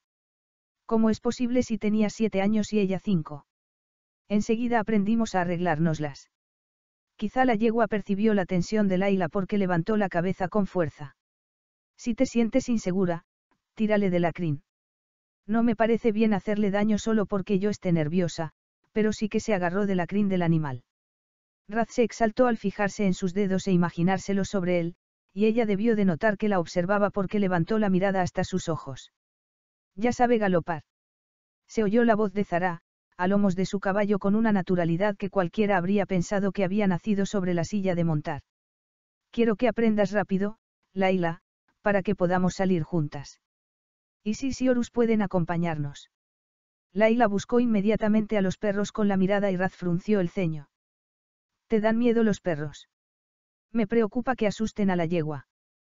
Tenía sentido, pero en su tono de voz había algo más y se había fijado en cómo se tensaba cada vez que estaban cerca. Se preguntó si alguna vez la habría mordido un perro y por eso ahora los temía. Laila, se acercó más a ella, hasta rozarla con la pierna. Si los perros te suponen un problema, debes decírmelo. No son ningún problema. Zara los adora y ellos la cuidan muy bien. La respuesta sonaba tranquila, pero seguía habiendo algo oscuro en sus ojos y Zara volvió a preguntarse qué la habría llevado a echarse al desierto en busca de un desconocido. Cuanto más la conocía, más cuenta se daba de lo impropio que era de ella un comportamiento tan impulsivo, porque era una persona acostumbrada a pensar bien las cosas y a buscar todo tipo de pruebas en las que basar sus decisiones. Sin conocerlo, había preferido ir en su busca antes que seguir un día más en su antigua residencia. Cuando por fin llegó el momento de dejar el caballo, Raz puso una mano sobre la de ella y le dijo que lo estaba haciendo muy bien. Los dos sabemos que lo estoy haciendo fatal, respondió Laila. Siempre es más difícil aprender de adulto porque se tiene más conciencia del peligro, y tenía la impresión de que, en su caso, dicha conciencia era mayor que en otras personas. Ve a descansar. Abdul te enseñará la biblioteca. ¿Tienes una biblioteca? Preguntó, entusiasmada, mientras Zara meneaba la cabeza. ¿Quién quiere libros pudiendo tener caballos? Capítulo 8. De todas las habitaciones de la hermosa casa de Raz que ella ni siquiera imaginaba que existiera, la que más le gustaba hasta ese momento era la biblioteca. Además de los libros, tenía unas magníficas vistas del jardín y acceso directo a un patio con una fuente que refrescaba el ambiente. Era el lugar más bonito que había visto nunca. Acostumbrada al ambiente opresivo del palacio de Tazcan, Laila sentía en aquella casa una paz y una libertad que jamás había experimentado. No solo por poder moverse de un lado a otro sin dar cuentas a nadie, sino por la certeza de que, al hacerlo, no se encontraría con su padre, con Hassan, ni con ninguna de las personas que tanta presión le habían hecho sentir. Acababa de ponerse en pie para examinar otra de las estanterías de libros, cuando entró corriendo a la biblioteca uno de los perros. Laila se quedó completamente inmóvil, pero enseguida apareció una mujer y se llevó al perro. Lo siento mucho, Alteza, se disculpó la mujer. Le ruego que me perdone. Laila se relajó un poco. No pasa nada. Claro que pasa. Su Alteza dio órdenes expresas a todo el personal de que no permitiéramos que los perros se acercaran a usted. Laila la miró, sorprendida. Lo había hecho por ella. No se preocupe. Es cosa mía, no de los perros. Ni siquiera le había explicado a Raza que se debía su temor, pero él lo había notado y había tomado medidas. Raz entró justo en ese momento en la biblioteca. Era la primera vez que lo veía desde que habían llegado a la casa y se puso nerviosa de inmediato. Estuviera donde estuviera, se levantaba al amanecer y se pasaba el día atendiendo numerosos asuntos, y aún así siempre se las arreglaba para dejar unas horas para estar con su hija. Tenía una energía y una fuerza inagotables. Nada más mirarla, percibió el miedo en su rostro, y el hecho de que lo adivinara con tal facilidad le pareció algo tan íntimo como las cosas que habían hecho en la oscuridad del dormitorio. De algún modo había conseguido llegar a sus pensamientos y temores más privados y eso hacía que se sintiera vulnerable. Él había aprovechado ese acceso, pero para cuidar de ella, no para obtener ningún beneficio personal. No se había burlado de su miedo a los perros, sino que había tratado de ayudarla. Lo siento mucho, Alteza, se apresuró a decir la mujer que había acudido detrás del perro. Horus ha venido corriendo hasta aquí en cuanto le he dado la espalda, pero apenas ha cruzado el umbral de la puerta. Raz le dijo algo en voz baja que Laila no pudo escuchar, pero se fijó en que la mujer salió de allí pálida. No sé qué le habrás dicho, pero no era necesario. Estoy bien. No, no estás bien y los dos lo sabemos aunque no quieras hablar de ello. Laila intentó no pensar en el deseo que se despertaba dentro de ella en cuanto se encontraba a solas con él y trató de cambiar de tema. ¿Has tenido una tarde productiva? Le preguntó. Sí, pero lamento haberte dejado sola nada más llegar aquí. No pasa nada. Zara me lo enseñó todo y lo hemos pasado bien juntas. Además, estoy acostumbrada a tener que entretenerme sola. Es posible, pero no quiero que tengas que volver a hacerlo. No quiero que tu futuro sea como tu pasado. Me encantan los libros y siempre es un placer leer. Porque es una manera de escapar. Necesitas escapar cuando estás conmigo. No, se le había quedado la boca seca y no podía decirle lo mucho que le inquietaba lo que sentía porque ni siquiera se veía capaz de articular palabra. No leo solo para escapar. Me encanta el ritmo de las palabras. Un buen escritor es capaz de crear imágenes con las palabras igual que lo hace un pintor con el pincel. Espero que puedas transmitirle a Zara ese amor por los libros porque para ella leer es algo que la aleja de los caballos y por eso lo detesta. Entonces habrá que encontrar libros sobre caballos, decidió, agradecida de tener algo en que pensar, algo que alejara su mente del cuerpo de Raz. Va a ser un placer despertar su amor por la lectura. Solo hay que encontrar algo que le interese, como las historias que le cuento antes de dormir. Por cierto, Raz cruzó la habitación lentamente hacia ella y le dio un paquete. Laila lo desenvolvió cuidadosamente y, al ver lo que había dentro, se quedó sin respiración por un momento. Mi libro de las mil y una noches. Pensé que lo había perdido para siempre. No me había dado cuenta de que lo habíamos traído con nosotros al irnos del campamento la primera noche. Lo tenía tan cerca que solo tenía que mover la mano unos centímetros para poder tocarlo, pero fue él el que le agarró el rostro entre las manos y con eso bastó para hacerla arder de deseo. Trasladado a Zara a la habitación de al lado de la nuestra, así la oiremos si grita, le contó para tratar de distraerse. Este lugar es impresionante, pero lo más increíble es que nadie conozca su existencia. ¿Has terminado? ¿Qué? Clavó la mirada en sus ojos. Estás hablando sin parar. ¿Estás nerviosa? No, no estoy nerviosa. Vamos, sé sincera. Esperaba que le dijera que no dejaba de pensar en él ni un momento del día. O que quería arrancarle la ropa hasta que entre ellos no hubiera ningún obstáculo. ¿Qué diría si le confesara que la noche se había convertido en su momento preferido del día? No estoy nerviosa, intentó apartarse, pero él la rodeó por la cintura y tiró de ella hacia sí, apretándola contra su cuerpo. Raz. Zara está dormida, susurró él. Quizá deberíamos seguir la conversación en el dormitorio, para poder oírla si se despierta. Sí. La agarró de la mano y la llevó así hasta la habitación, sin apenas separarse de ella y andando con pasos más cortos para adaptarse a los suyos. Una vez en la habitación, Raz encendió la luz y cerró la puerta.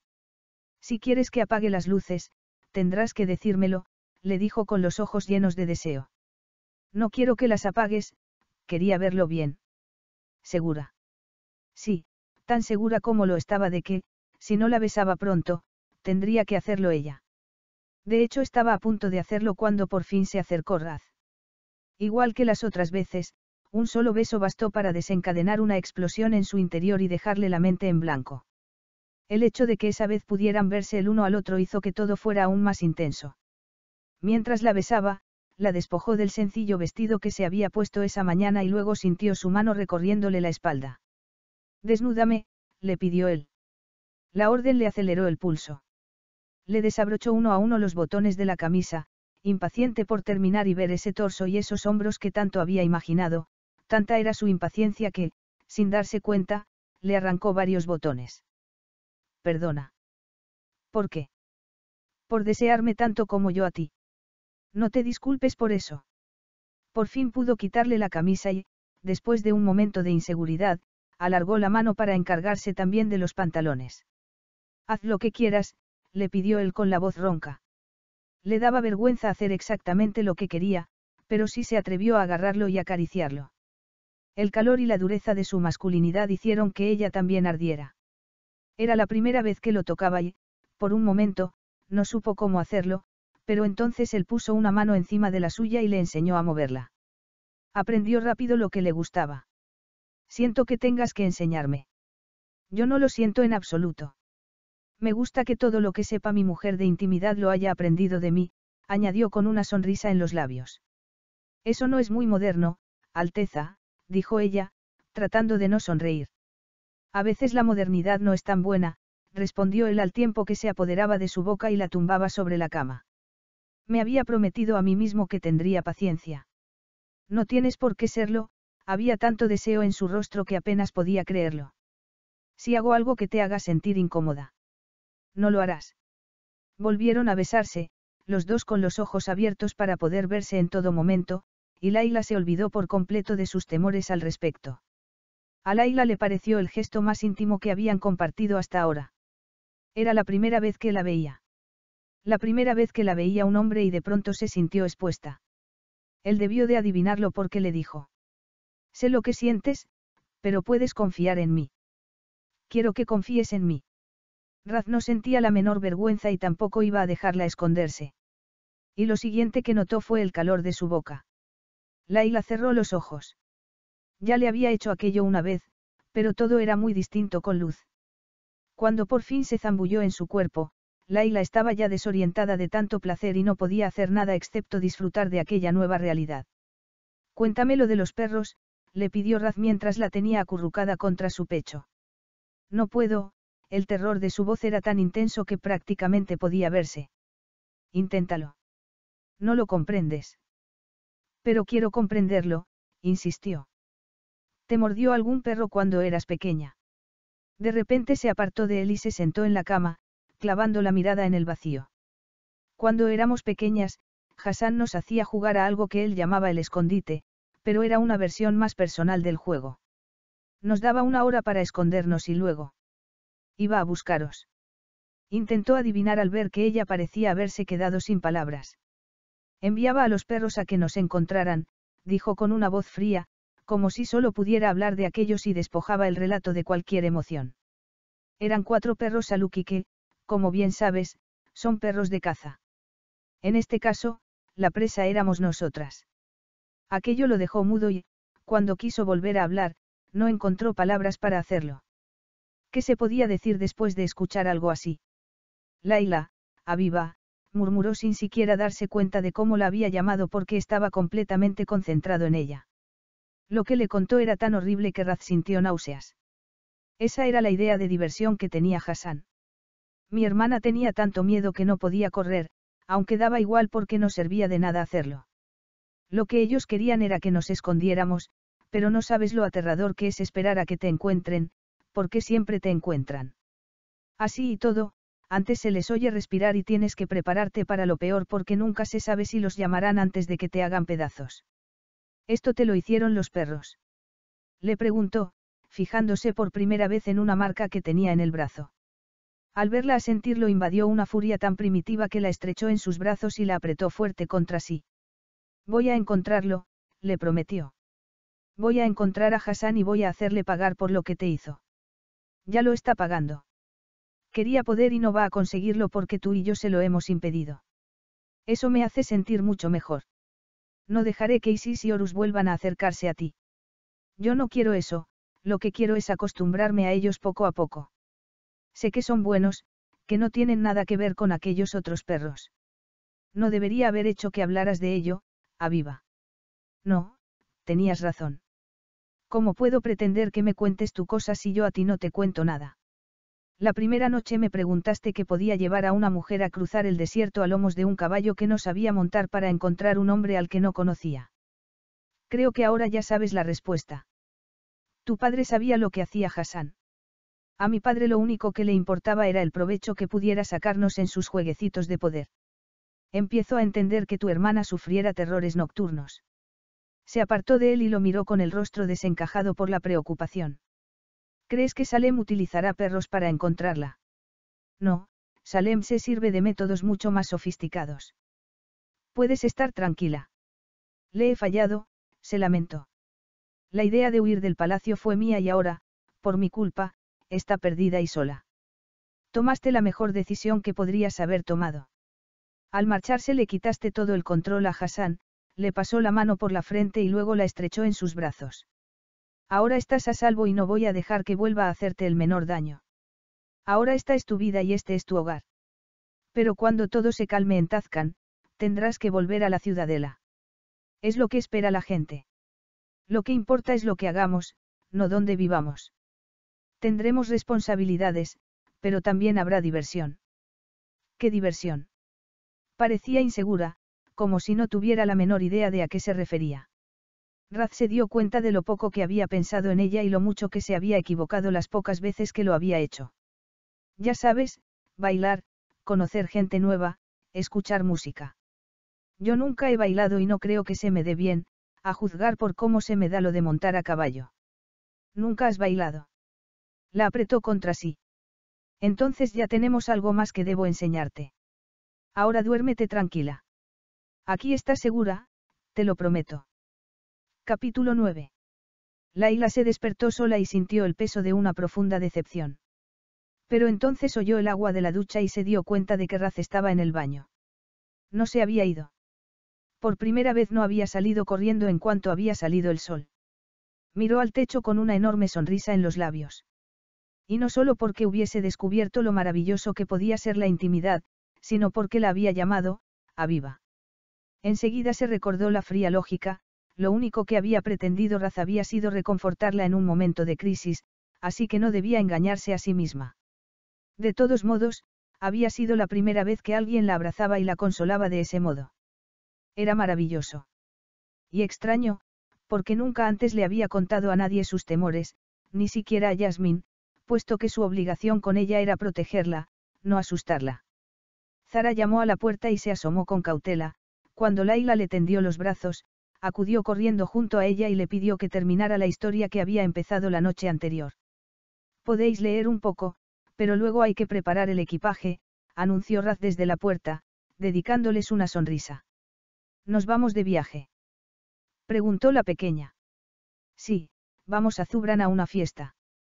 Zara frunció el ceño. Entonces supongo que yo no voy. Raz se acercó a su hija y la levantó en brazos. No vendrás a la fiesta, pero sí a Zubran. Quiero que me des tu opinión sobre una yegua que estoy pensando en comprar. Laila sintió que algo se estremecía en su interior al verlos juntos. Al saber los planes, la pequeña se olvidó de la historia y fue directamente a preparar la maleta. ¿Qué ocurre, Laila? Le preguntó Raz, de nuevo consciente de la intensidad de sus emociones. Nada, eres un buen padre y tu hija te adora. ¿Y eso es malo? No. Por supuesto que no. Todas las niñas deberían adorar a sus padres. Hubo un momento de silencio.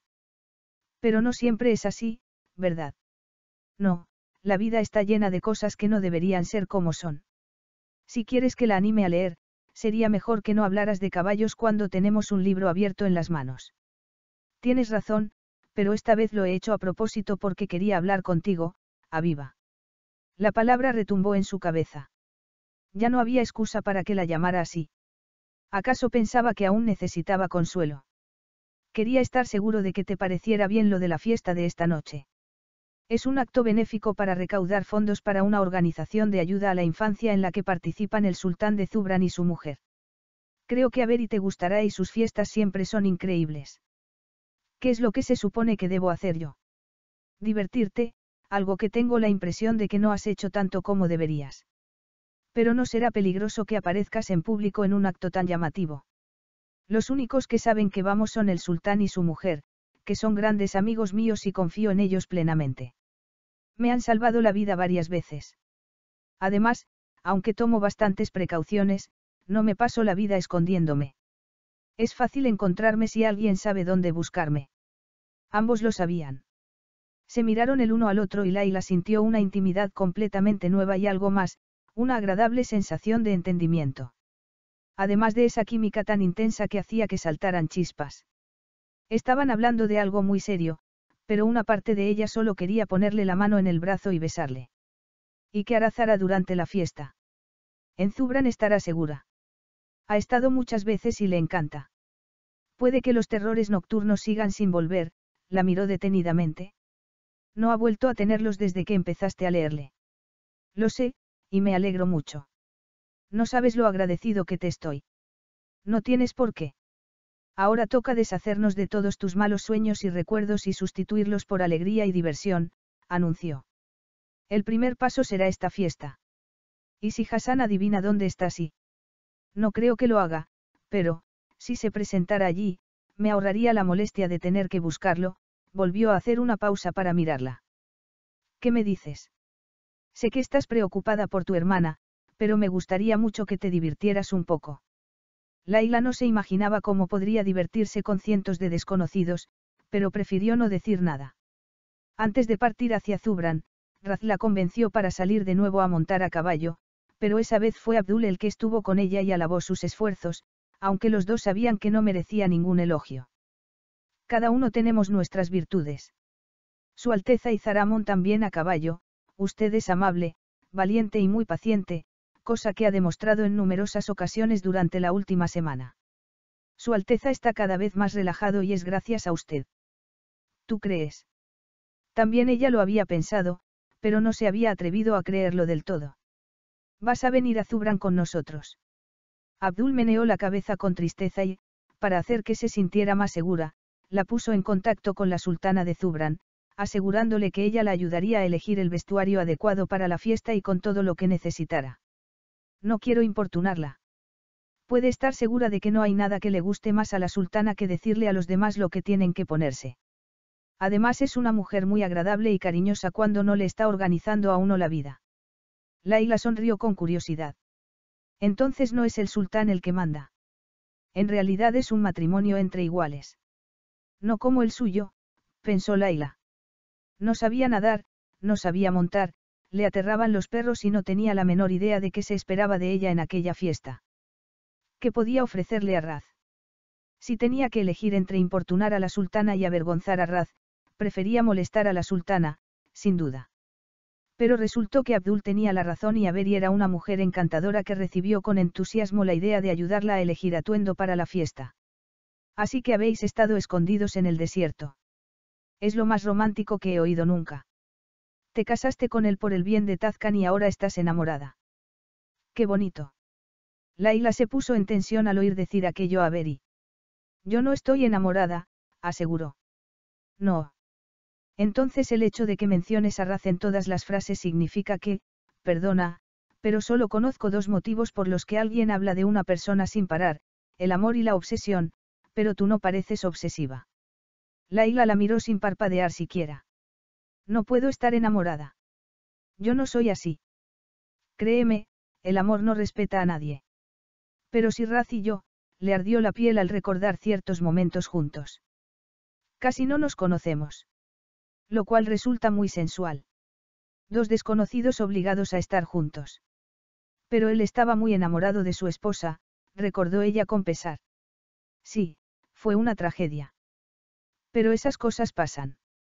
Así es la vida, pero hay que seguir adelante y al final uno vuelve a disfrutar de las cosas, que es lo que está empezando a hacer Raz. Pero no fue él el que eligió casarse, sino yo. Raz Alzaki jamás ha hecho nada con lo que no estuviera de acuerdo, a ver y se acercó y le apretó la mano. Me alegro mucho de que vayamos a ser vecinas. Yo no soy como su mujer. No podré ocupar su lugar. No tienes por qué ser como ella. Lo que tienes que hacer es ser tú misma. Si quieres aprender a montar, aprende, pero solo porque lo desees, o para que la loca de su cuñada no intente ahogarte otra vez. Lo que trato de decirte es que, si te comportas tal como eres, vuestra relación será de verdad. Tienes razón, reconoció Laila, que se sentía más animada que hacía mucho tiempo. Por supuesto que tengo razón, ahora háblame de tu hermana. Averi le aseguró que Salem encontraría a Yasmin y le contó que, además de ser hermano de Raz, era un exagente de las fuerzas especiales y, por tanto, estaba muy preparado para cualquier misión. De hecho, estaba convencida de que era muy posible que ya la hubiera encontrado y simplemente estuviese intentando pasar inadvertido y, cuando Laila le contó cómo era su hermana, llegó a la conclusión de que hacían una pareja estupenda. No sé qué se espera de mí esta noche, confesó Laila después de un momento de silencio. Que te diviertas. Solo tienes que disfrutar de estar con Raz porque parece que los dos necesitáis dedicar un poco de tiempo a conoceros y a ver vuestra relación desde otra perspectiva. El propósito de esta noche es que estéis juntos, que seáis una pareja. Yo nunca he formado parte de una pareja, no sé cómo se hace, la desesperación de Laila era tan grande que superó su habitual timidez. Pues yo creo que Raz ha tenido mucha suerte de encontrarte. Merece a alguien como tú y tú lo mereces a él. Ahora termínate el té y vamos a asegurarnos de que esta noche te encuentre irresistible. No me sentiré cómoda con algo demasiado llamativo. No te preocupes. El truco está en insinuar, no en enseñar. Laila se echó a reír. Capítulo 10. Raz miró la hora por enésima vez. El baile estaba a punto de empezar y no había ni rastro de Laila. Estaba a punto de llamar a Ver y cuando apareció Mal y le dijo que su mujer había dado la orden de que las esperaran abajo, en el salón de baile. Las dos mujeres habían pasado el día de compras y Raz estaba seguro de que la sultana habría conseguido sonsacarle a Laila todo lo que hubiese querido saber. Agradezco la ayuda de Averi porque Laila no está acostumbrada a esta clase de acontecimientos sociales y es muy tímida. Me preocupa que se sienta abrumada. Su amigo lo miró con curiosidad. ¿Esa mujer te importa? ¿Te sorprende? ¿Y a ti? Sí, admitió, Pues no veía motivo para no ser sincero. Sí que me sorprende. No es en absoluto como yo esperaba que fuera. Parece que ha tenido una vida muy dura. Eso, sin embargo, no me sorprende, reconoció mal. En mi opinión, tiene mucha suerte de haberse casado contigo y seguramente ahora se sienta muy aliviada. No lo sé. Es una mujer muy valiente que se niega a dejarse vencer por el miedo. Entonces no tardará en darse cuenta de que contigo no tiene nada que temer. Puede que lo de esta noche sea demasiado para ella, y se dio cuenta de que no quería que lo fuese, quería que se relajase y se divirtiese. ¿Y para ti? Es la primera vez que apareces en público con otra mujer. Ni siquiera había pensado en eso. A mí no me importa lo que piensen los demás, pero a ella sí. Entre todos la protegeremos cuanto podamos, pero, si crees que va a estar incómoda, debéis marcharos temprano. Nadie se ofenderá. Tú eres como un hermano para mí, espero que lo sepas. Lo sé, hizo una pequeña pausa. ¿Te puedes creer que no haya bailado nunca? No creo que sepa siquiera cómo divertirse. Dale tiempo. Su vida ha cambiado mucho de la noche a la mañana, así que necesitará un tiempo para darse cuenta de que puede confiar en ti. No tengo ni idea de lo que piensa de vivir conmigo. Ya lo descubrirás, yo cada día descubro algo nuevo de Avery. Avery es una mujer formidable. Mal hizo una breve pausa antes de anunciar. Está embarazada, pero aún no lo sabe nadie, así que no digas nada. Enhorabuena. No diré nada. Lo primero que vio Raza al entrar al salón de baile fue a Laila y, desde ese momento, no pudo apartar la vista de ella. Parecía salida de las mil y una noches, con aquel vestido azul oscuro con adornos dorados y la melena suelta. Por si no se te ocurre nada, la palabra que buscas es, impresionante, le dijo a Beri al oído antes de dejarlos solos. ¿Qué tal han ido las reuniones? Le preguntó ella con voz tranquila, pero en sus ojos se reflejaba el lógico nerviosismo. Muy bien. Veo que Avery y tú habéis estado muy ocupadas. Nos hemos divertido mucho. Hemos charlado e ido de compras, en su gesto había una emoción que jamás había visto, como si alguien hubiese encendido una luz en su interior. Parecía más segura de sí misma y se preguntó a qué se debía el cambio. Sería solo el vestido. Estás impresionante. Avery te ha dicho que me lo dijeras, lo he oído. De todos modos, gracias. Lo he dicho porque es cierto, la miró a los ojos. ¿Puedo pedirte una cosa? Lo que quieras. Mencionaste algo de bailar, bajó la mirada al suelo. Me gustaría probar.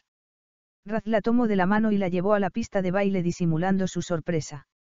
Pronto descubrió con igual asombro que parecía tener un talento natural para el baile, pues se movía como si flotara. A ella también le gustó descubrirlo, a juzgar por la enorme sonrisa que apareció en sus labios, y de pronto se descubrió sonriendo también. Sintió cómo su cuerpo se relajaba contra el de él. Sabía que la gente los observaba con curiosidad y temió que ella se diera cuenta y volviera a tensarse, pero entonces se miraron a los ojos y solo pudieron sentir la química. Laila bajó la mirada hasta sus labios sin el menor atisbo de timidez y esbozó una nueva sonrisa. Él cerró los ojos y la estrechó contra sí para no dejarse llevar por el impulso de sacarla de allí. ¿Te gusta? Le preguntó al oído. Sí, mucho. Vámonos de aquí. Te enseñaré el jardín, tiene unas fuentes espectaculares. Podemos irnos. Hay gente esperando hablar contigo. Tendrán que esperar un poco más. Llevo días sin parar de hablar con todo el mundo. Esta noche es para nosotros. Se está muy bien aquí, comentó ella, observando la magnífica fuente. El ruido del agua me recuerda a tu casa. Nuestra casa. Ella se apartó de él para sentarse en el murete que rodeaba la fuente. A tu mujer le gustaba vivir allí. Raz se puso en tensión automáticamente, pero luego vio la ansiedad que reflejaban los ojos de Laila y supo que le habría costado mucho hacerle esa pregunta. No, Nisa prefería la ciudad. Estaba cansada de mudarse de un lado a otro y de las restricciones que implica la seguridad. No siempre tenía demasiado cuidado. El día que murió vino a verme al desierto para darme una sorpresa. Yo había salido a caballo y ella vino a buscarme en mi 4x4.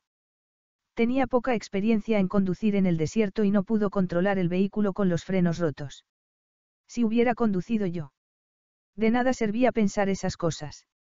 Lo siento, dijo ella al tiempo que le ponía los brazos alrededor de la cintura. Siento mucho que la perdieras y siento que mi familia tuviera algo que ver en ello. Eso no tiene nada que ver contigo y nunca te he hecho responsable. Siento habértelo preguntado. He estropeado el momento. No has estropeado nada. Tienes derecho a preguntar. Los dos sabemos que yo no tengo ningún derecho, Alteza. Raz la agarró de las dos manos y la puso en pie para mirarla a los ojos. Sigues llamándome Alteza. Pensé que eso ya lo habíamos superado.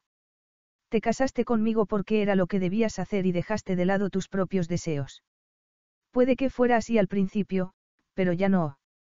¿Acaso crees que lo que hacemos juntos es una obligación para mí? Inclinó la cabeza hacia ella. ¿De verdad crees que esto no es personal, Aviva? No podríamos irnos ya. Susurró Laila, con la mejilla pegada a la de él y el corazón a punto de escapársele del pecho.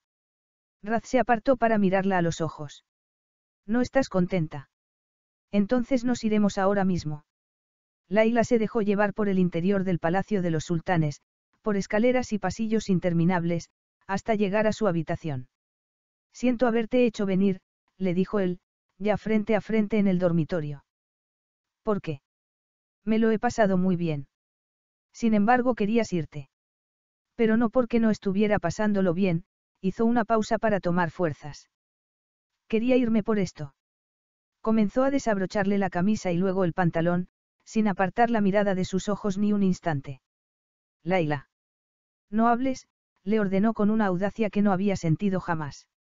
La misma audacia que le permitió recorrer todo su cuerpo. Quería disfrutar de aquella fantasía y no estropearla con palabras. Estaba completamente fascinada con la fuerza de su cuerpo. Espera un momento, le imploró. Tenía la voz ronca y la mirada oscura cuando la besó como un loco mientras la desvestía y la llevaba a la cama. Después de consumar el amor entre ambos, Laila se acurrucó contra su pecho sin decir nada.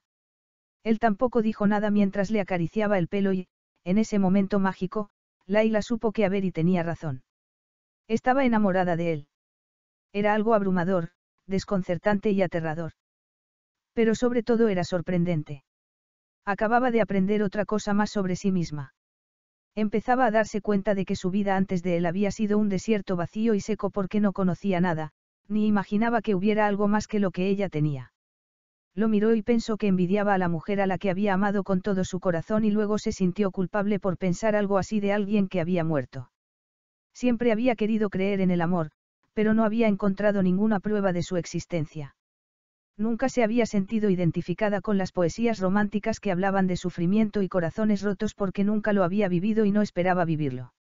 Sin embargo, allí estaba. Ahora sentía ese dolor en el pecho. Raz la miró a los ojos también.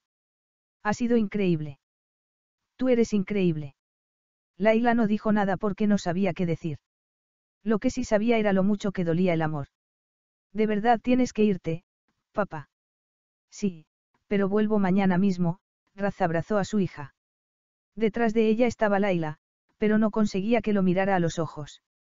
Habían pasado dos semanas desde el baile de Zubran y desde entonces había estado retraída y muy callada, tanto que Raz empezaba a preguntarse por la razón de ese cambio. Tenía que hablar con ella en cuanto volviera. ¿Dónde vas? A reunirme con el Consejo de Tazcan para ultimar los preparativos para la toma de posesión. Entonces vamos a mudarnos a la ciudad. Era Zara la que hacía las preguntas, pero Raz se preguntó si sería eso lo que le preocupaba a Laila. Viviremos allí algún tiempo, pero no siempre, miró a Laila. Estás muy callada. ¿Te preocupa algo? No, nada. Que te vaya muy bien la reunión.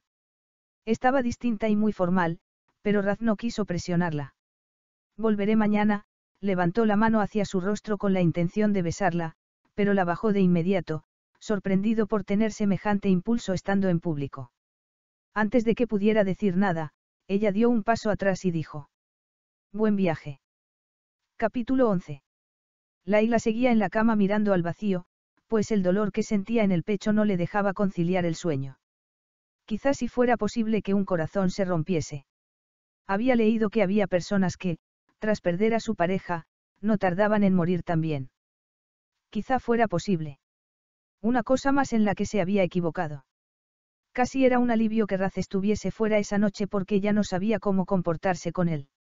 No sabía cómo hacer para no demostrarle lo mucho que lo amaba, ni para no seguir enamorándose de él más y más.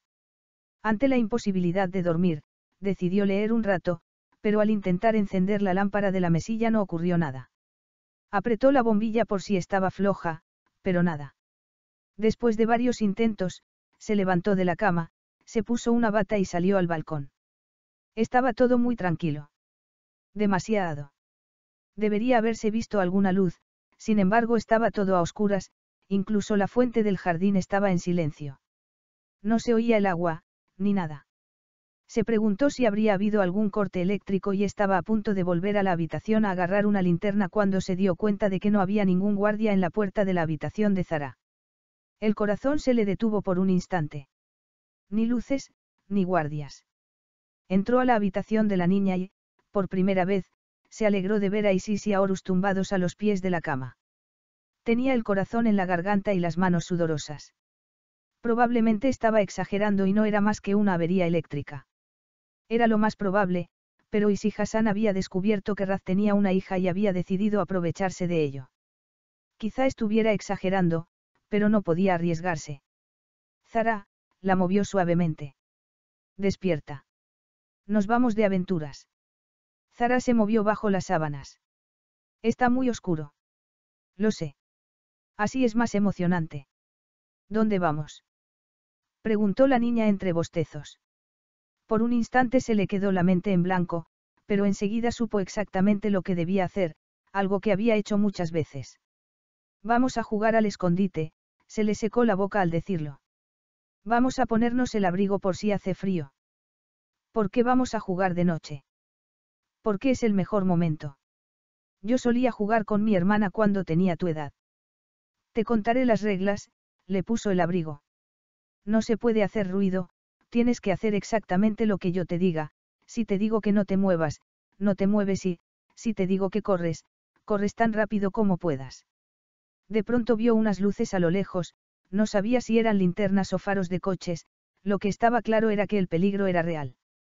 Tenemos que irnos, anunció, apretando a la pequeña contra su pecho. ¿Y si Horus pueden venir con nosotras? Laila miró a los perros. Sí, buena idea. Pero tenemos que darnos prisa. ¿De quién nos escondemos, Laila? No tiene sentido jugar al escondite si nadie va a intentar encontrarnos. Vamos a buscar un lugar seguro y veremos lo calladas que podemos estar. Cuando ya lo hagamos muy, muy bien, podremos jugar con papá, sabía que lo que decía era absurdo, pero mientras andaba a toda prisa sin llegar a correr, seguía hablando sin parar, intentando no asustar a Zara. Porque ahora ya sabía con certeza que alguien iba tras ellas y el miedo era tan terrible como cuando lo había sentido de niña. Dime una cosa, Zara. Si no quisieras que nadie te encontrara, ¿Dónde irías? A las cuevas de Alzaki, claro. Laila recordaba que Raz le había hablado de ese lugar. Están cerca. A caballo llegaremos en cinco minutos. A caballo. Laila cerró los ojos y respiró hondo. De acuerdo. El caballo más rápido es Raja, el semental de mi padre. Yo sé montarlo. Me gusta este juego. Desde las caballerizas volvió a ver las luces a lo lejos, pero no sabía calcular cuánto tiempo les quedaba. Ya en lo alto del enorme caballo, Laila tuvo que concentrarse en no mirar al suelo. Zara no necesitó que le insistiera para poner el caballo al galope y para Laila fueron los minutos más aterradores de su vida. Al llegar a las cuevas, se dio cuenta de que había cometido un gran error. El caballo les había permitido huir con rapidez, pero ahora no había manera de ocultarlo. Los perros, que se habían quedado atrás, consiguieron alcanzarla siguiendo su rastro. Tenemos que dejar suelto a Raja, Zara. No tenemos otra opción. No. No podemos hacer eso. Papá se pondrá muy furioso. Pero Laila ya había soltado las riendas y, con solo darle un manotazo, el caballo se alejó al galope y se perdió en la oscuridad.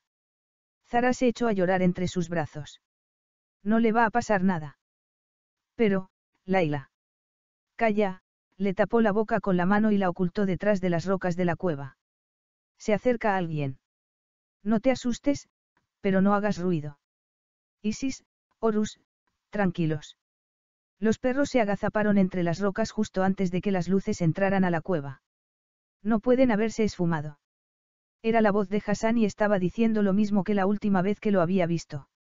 Laila apretó a Zara contra sí, como había hecho tantas veces con su hermana, y se preguntó cómo había podido saber Hassan que estaban allí. Tienen que estar aquí. No pueden haberse escondido en otra parte. A Laila se le cayó el alma a los pies al reconocer la voz de Nadia. Ahora lo comprendía todo. La niña empezó a moverse y, al intentar impedirlo, Laila hizo ruido con los pies y supo que estaba perdida. Le pidió a Zara que no se moviera por nada del mundo y salió de entre las rocas. Es ella, dijo Nadia con desprecio. Si está aquí, la niña no estará lejos. Zara está durmiendo en su cama. La dejé allí porque pensé que sería a mí a quien buscabais. Mentira.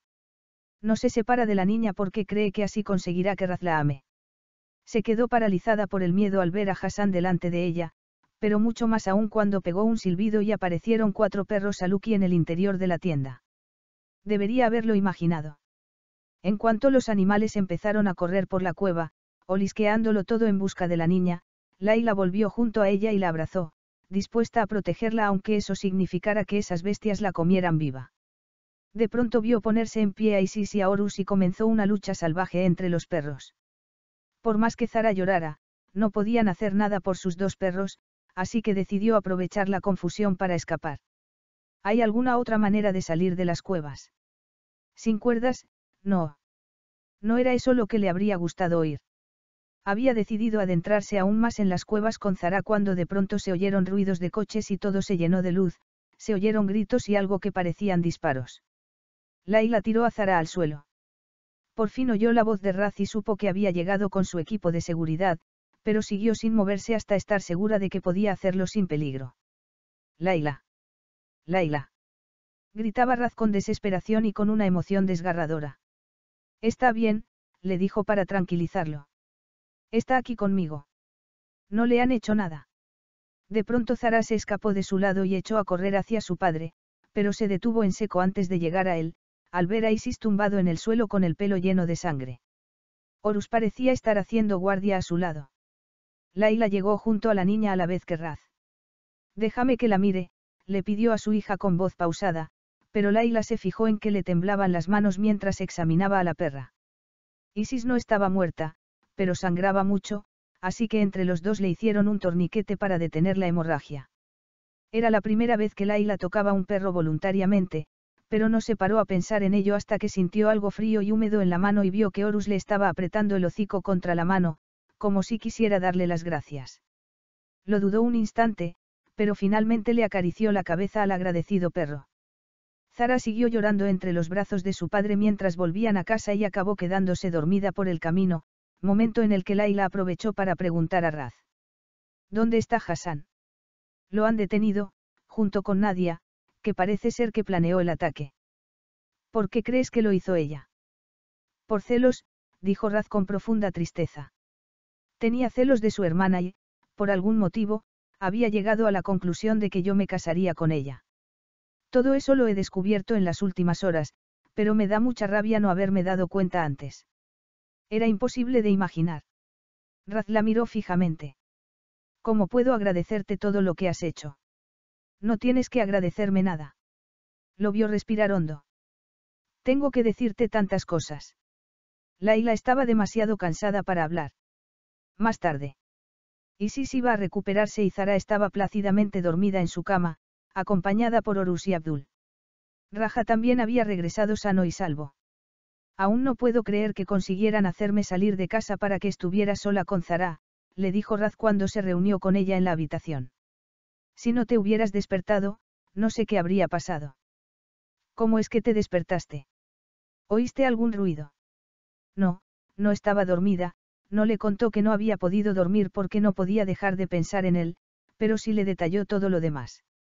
Mientras hablaba, los dos se dieron cuenta de que la primera noche que había acudido a la tienda de Zara había sido el primer intento de secuestrarla, pero Laila los había sorprendido al quedarse con ella en la cama.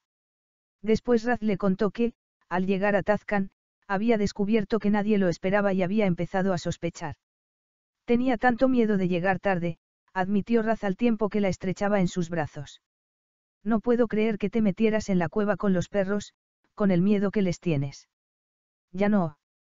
Pensé que protegerían a Zara y así fue. Se enfrentaron a cuatro perros y ganaron. Isis y Horus la quieren tanto que se hicieron fuertes contra los otros, se le llenaron los ojos de lágrimas al recordarlo. Tengo otra noticia que hará que dejes de llorar, anunció Raz. Salem me llamó hace media hora. Yasmin está con él y está bien. De verdad. Siguió llorando, pero esa vez de alegría. ¿Estás seguro? De verdad es ella. Salem dice que nunca ha conocido a una mujer que hable tanto. Entonces es ella, se abrazó a él, aliviada y contenta. Gracias. Ahora que está todo solucionado, quizá podamos hablar de nosotros. Hay algo que debo decirte, Aviva. Laila no levantó la cabeza de su pecho porque no podía afrontar nada más esa noche, especialmente si iba a decirle una vez más que nunca podría amar a otra mujer.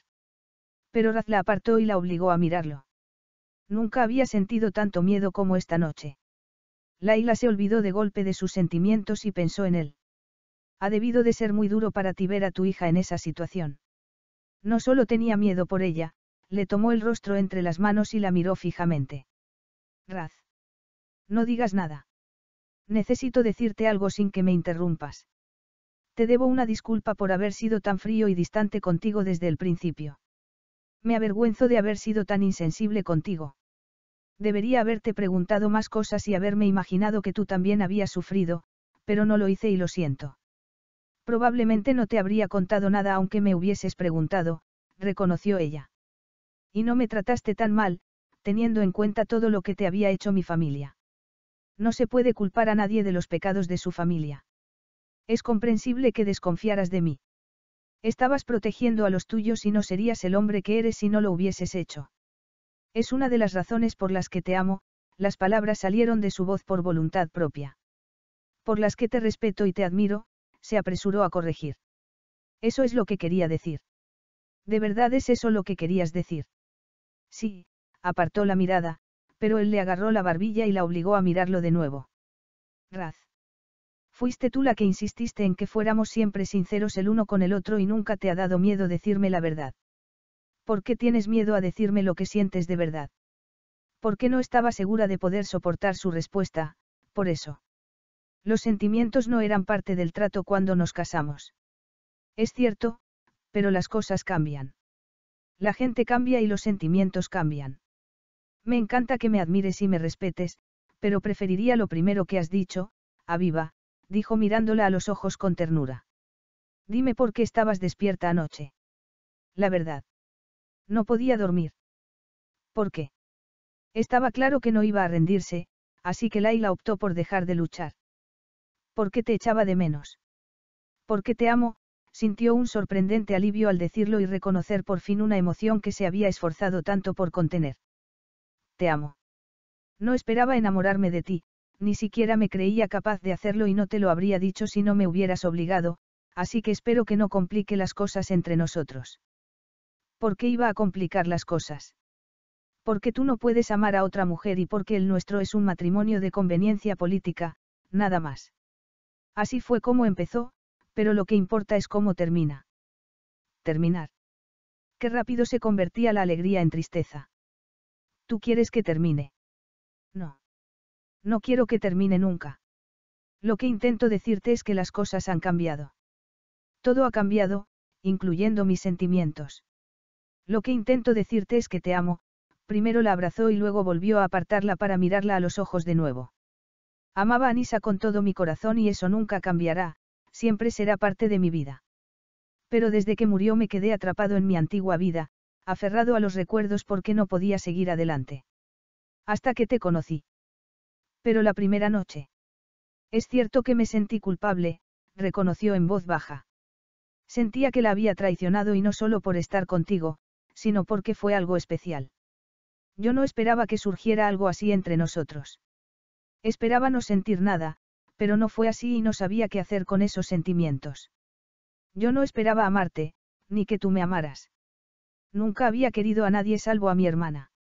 Nunca había mirado a ningún hombre, ni había sentido nada por ninguno hasta que te conocí. Nunca había conocido a un hombre que utilizara su poder para ayudar a los demás. Fuiste tan valiente al presentarte allí, armada solo con dos libros. Tú me lo has enseñado todo. Me habría gustado poder enseñarte algo yo también a ti. Lo has hecho, le puso la mano en la mejilla. Me has enseñado que la vida cambia y que se puede encontrar el amor donde menos se espera. Que siempre hay esperanza. Y me has enseñado a volver a amar, a viva. Y he descubierto que el amarte a ti no hace que la ame menos a ella.